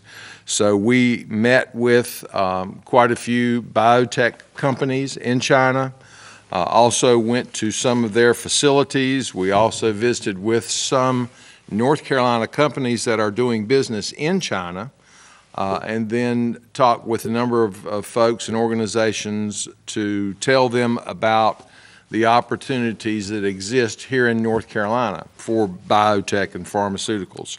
Um, as part of that, that trip, and this kind of, kind of bleeds into the, the other thing I wanted to talk about, um, we had an opportunity to visit, I think probably one of the, one of the more enjoyable parts of the trip for me was visiting with one of their high schools uh, there in China and getting an opportunity to talk with some of the students and, and make some, some, some comparisons as to, to how things are here. Uh, It was quite, quite obvious to me when we arrived at the high school that they had definitely picked their very top students to, to, to take us around as tour guides. Uh, The young man that I had was, um, you know, for some reason I always think of, of folks in uh, China as being shorter, but he was about uh, almost a foot taller than me, uh, but very serious about what he was doing. We talked about their um, their schedule. They come to school at, at six, uh, seven thirty in the morning, uh, and stay until six p.m. Um, I think their their clubs and their extracurriculars are included in that. Uh, they get an hour and a half for lunch. They're required to exercise as a group every morning, and we were able to, to uh, observe that, that exercise period. Um, The, the high school looked very much like the schools that we have here. Um, The, I think that this high school was probably what we would label as a STEM school, uh, heavy emphasis on science, technology, mathematics. Uh, They, um, the, the one thing that was, was interesting in talking to these students uh, is the, most of the ones that I had an opportunity to talk with, their number one goal is to do well on their college entrance exam because that will determine the course of the rest of their life. Uh, They want to do well enough to come to the United States to attend one of our colleges and universities here. So obviously, we're, we're doing some things right. Um, I had an opportunity, and I, I, on the China thing, you know, we went to some um, high-tech parks that they have created there to encourage biotech industries. Uh, and we went actually to two of those in two different areas of the country. Um, you know, one of the questions I asked one of them, they said they wanted to encourage Chinese companies to get into this business. Uh, my question was, well, what what exactly? I mean, how do you do? What how do you encourage them? What kind of things do you do? Uh, do they get a discount on the rent of these this lab space or these facilities? Uh, the answer I got was, well, if they're willing to to to start up the company in this area, we'll give them the rent free for three years. Uh, so that just gives you some indication as to how aggressive they are uh, in what they're trying to do. Uh, back back to the school piece of it, you know, I also had an opportunity over the last month to visit the early college high school program with Rowan Cabarrus Community College in cooperation with, I think there are some Kannapolis city schools and Cabarrus County schools working together on that. Uh, those students were very impressive. The panel that they had to talk to us. Uh, and and it, it was was really a great experience to hear how our school systems are being innovative in what they're doing to provide for the different levels and interests of students. This morning, I had an opportunity to spend a couple hours out at J.N. Fries Middle School, uh, which is one of the magnet schools here in Cabarrus County. Uh, part of the school is a STEM school, and the other part is an international baccalaureate program. Um, I can honestly say that the students that that I talk to at J.N. Fries and at the early college high school are every bit as serious and dedicated as those students in China. Uh, you know, we sometimes we hear people talk about they have uh, an edge on us, uh, but uh, it was very encouraging to make that comparison um, and see how, how serious our students are. But it was an excellent trip. I think that uh, we had 11 state legislators on the trip, some senators and House members. Uh, we had folks from the North Carolina Department of Commerce. Uh, we had people from the North Carolina Department of Agriculture uh, looking at different aspects. Uh, it was very surprising to me to learn of the great appetite that the Chinese people have for American products. Um, when you walk down the main street of the of the larger cities, and their their larger cities are large, um, I think uh, about four times the population of the state of North Carolina in one city. But the names that you see on the stores are the same names that we would see in our local malls. Uh, and so there are many, many opportunities for North Carolina companies to export goods to China. And I think there are quite a few opportunities for us to recruit some of those companies here, provide jobs in our area. Uh, so it was very, very worthwhile trip, and I would encourage anybody to take advantage of that. Um, the next question people ask is, um, who paid for it? Um, it is, there are no governmental funds involved in these trips at all. They are all through sponsorships. Um, my trip was sponsored by the Hayes Foundation here in Cabarrus County, and they sponsor two trips um, uh, each year. Uh, one that uh, person representing the Cabarrus County School System and another representing the Kannapolis City School System, and uh, the Kannapolis City School System was, uh, asked me to go as their representative. So it was, uh, was a wonderful trip, and um, and I would encourage anybody to do it. Thank you. All right, good. I, I just wanted to repeat, um, um, I had mentioned this at a work session, but people had been, um, had some confusion about it. If you lost channel 22 on your television because, uh, you don't have a cable box, go to channel 97.2. You will find it. It will be there, and you can watch us if you'd like to. And we appreciate everybody that does watch us. The newspaper comes and they, they, they try to report on what we're doing, but they really have limited space. And um, we'll talk about some pretty complex issues in here for long periods of time, and they can't really do adequate job of explaining those complexities. And so coming or watching on TV is greatly appreciated. And um, channel 97.2.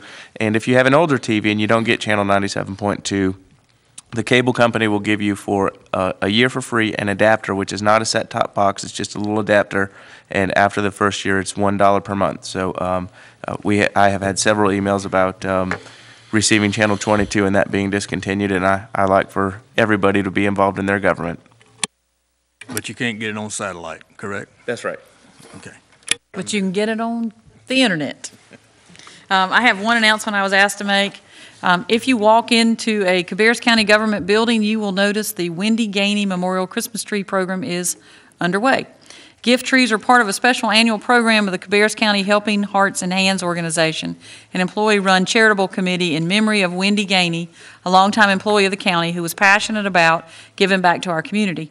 Now through December the 10th, Cabarrus residents can join county employees in selecting a tag and making a holiday wish a reality for local children, individuals in group homes, senior citizens, veterans, and more. Just before Christmas, CH3 volunteers will deliver the gifts to individuals and families served by Cabarrus County's agencies and community partners. Those who wish to provide gifts may select a gift tag from a Christmas tree at one of seven locations, including the Government Center, senior centers in Concord and Mount Pleasant, and any of the four branches of the Cabarrus Library. Unwrap presents in gift bags are due back to the tree location where you selected the gift tag by Tuesday, December the 10th. For additional information on the program, you can stop by any of the tree locations or visit Cabarrus County website, which is www.cabarruscounty.us. So we encourage you to participate. Um, Appreciate everybody that's here tonight. Thank you all. Y'all stayed for the long haul. And uh, Commissioners, we do have a need to go into closed session tonight um, pursuant to discuss personnel matters as authorized by North Carolina General Statute 143, 318, 11A6. Do I have a motion to go into closed session? Say, don't, don't everybody jump on it at the same time. We have a motion and a second. All those in favor say aye. Aye. Thank you all very much, and we'll see you next month.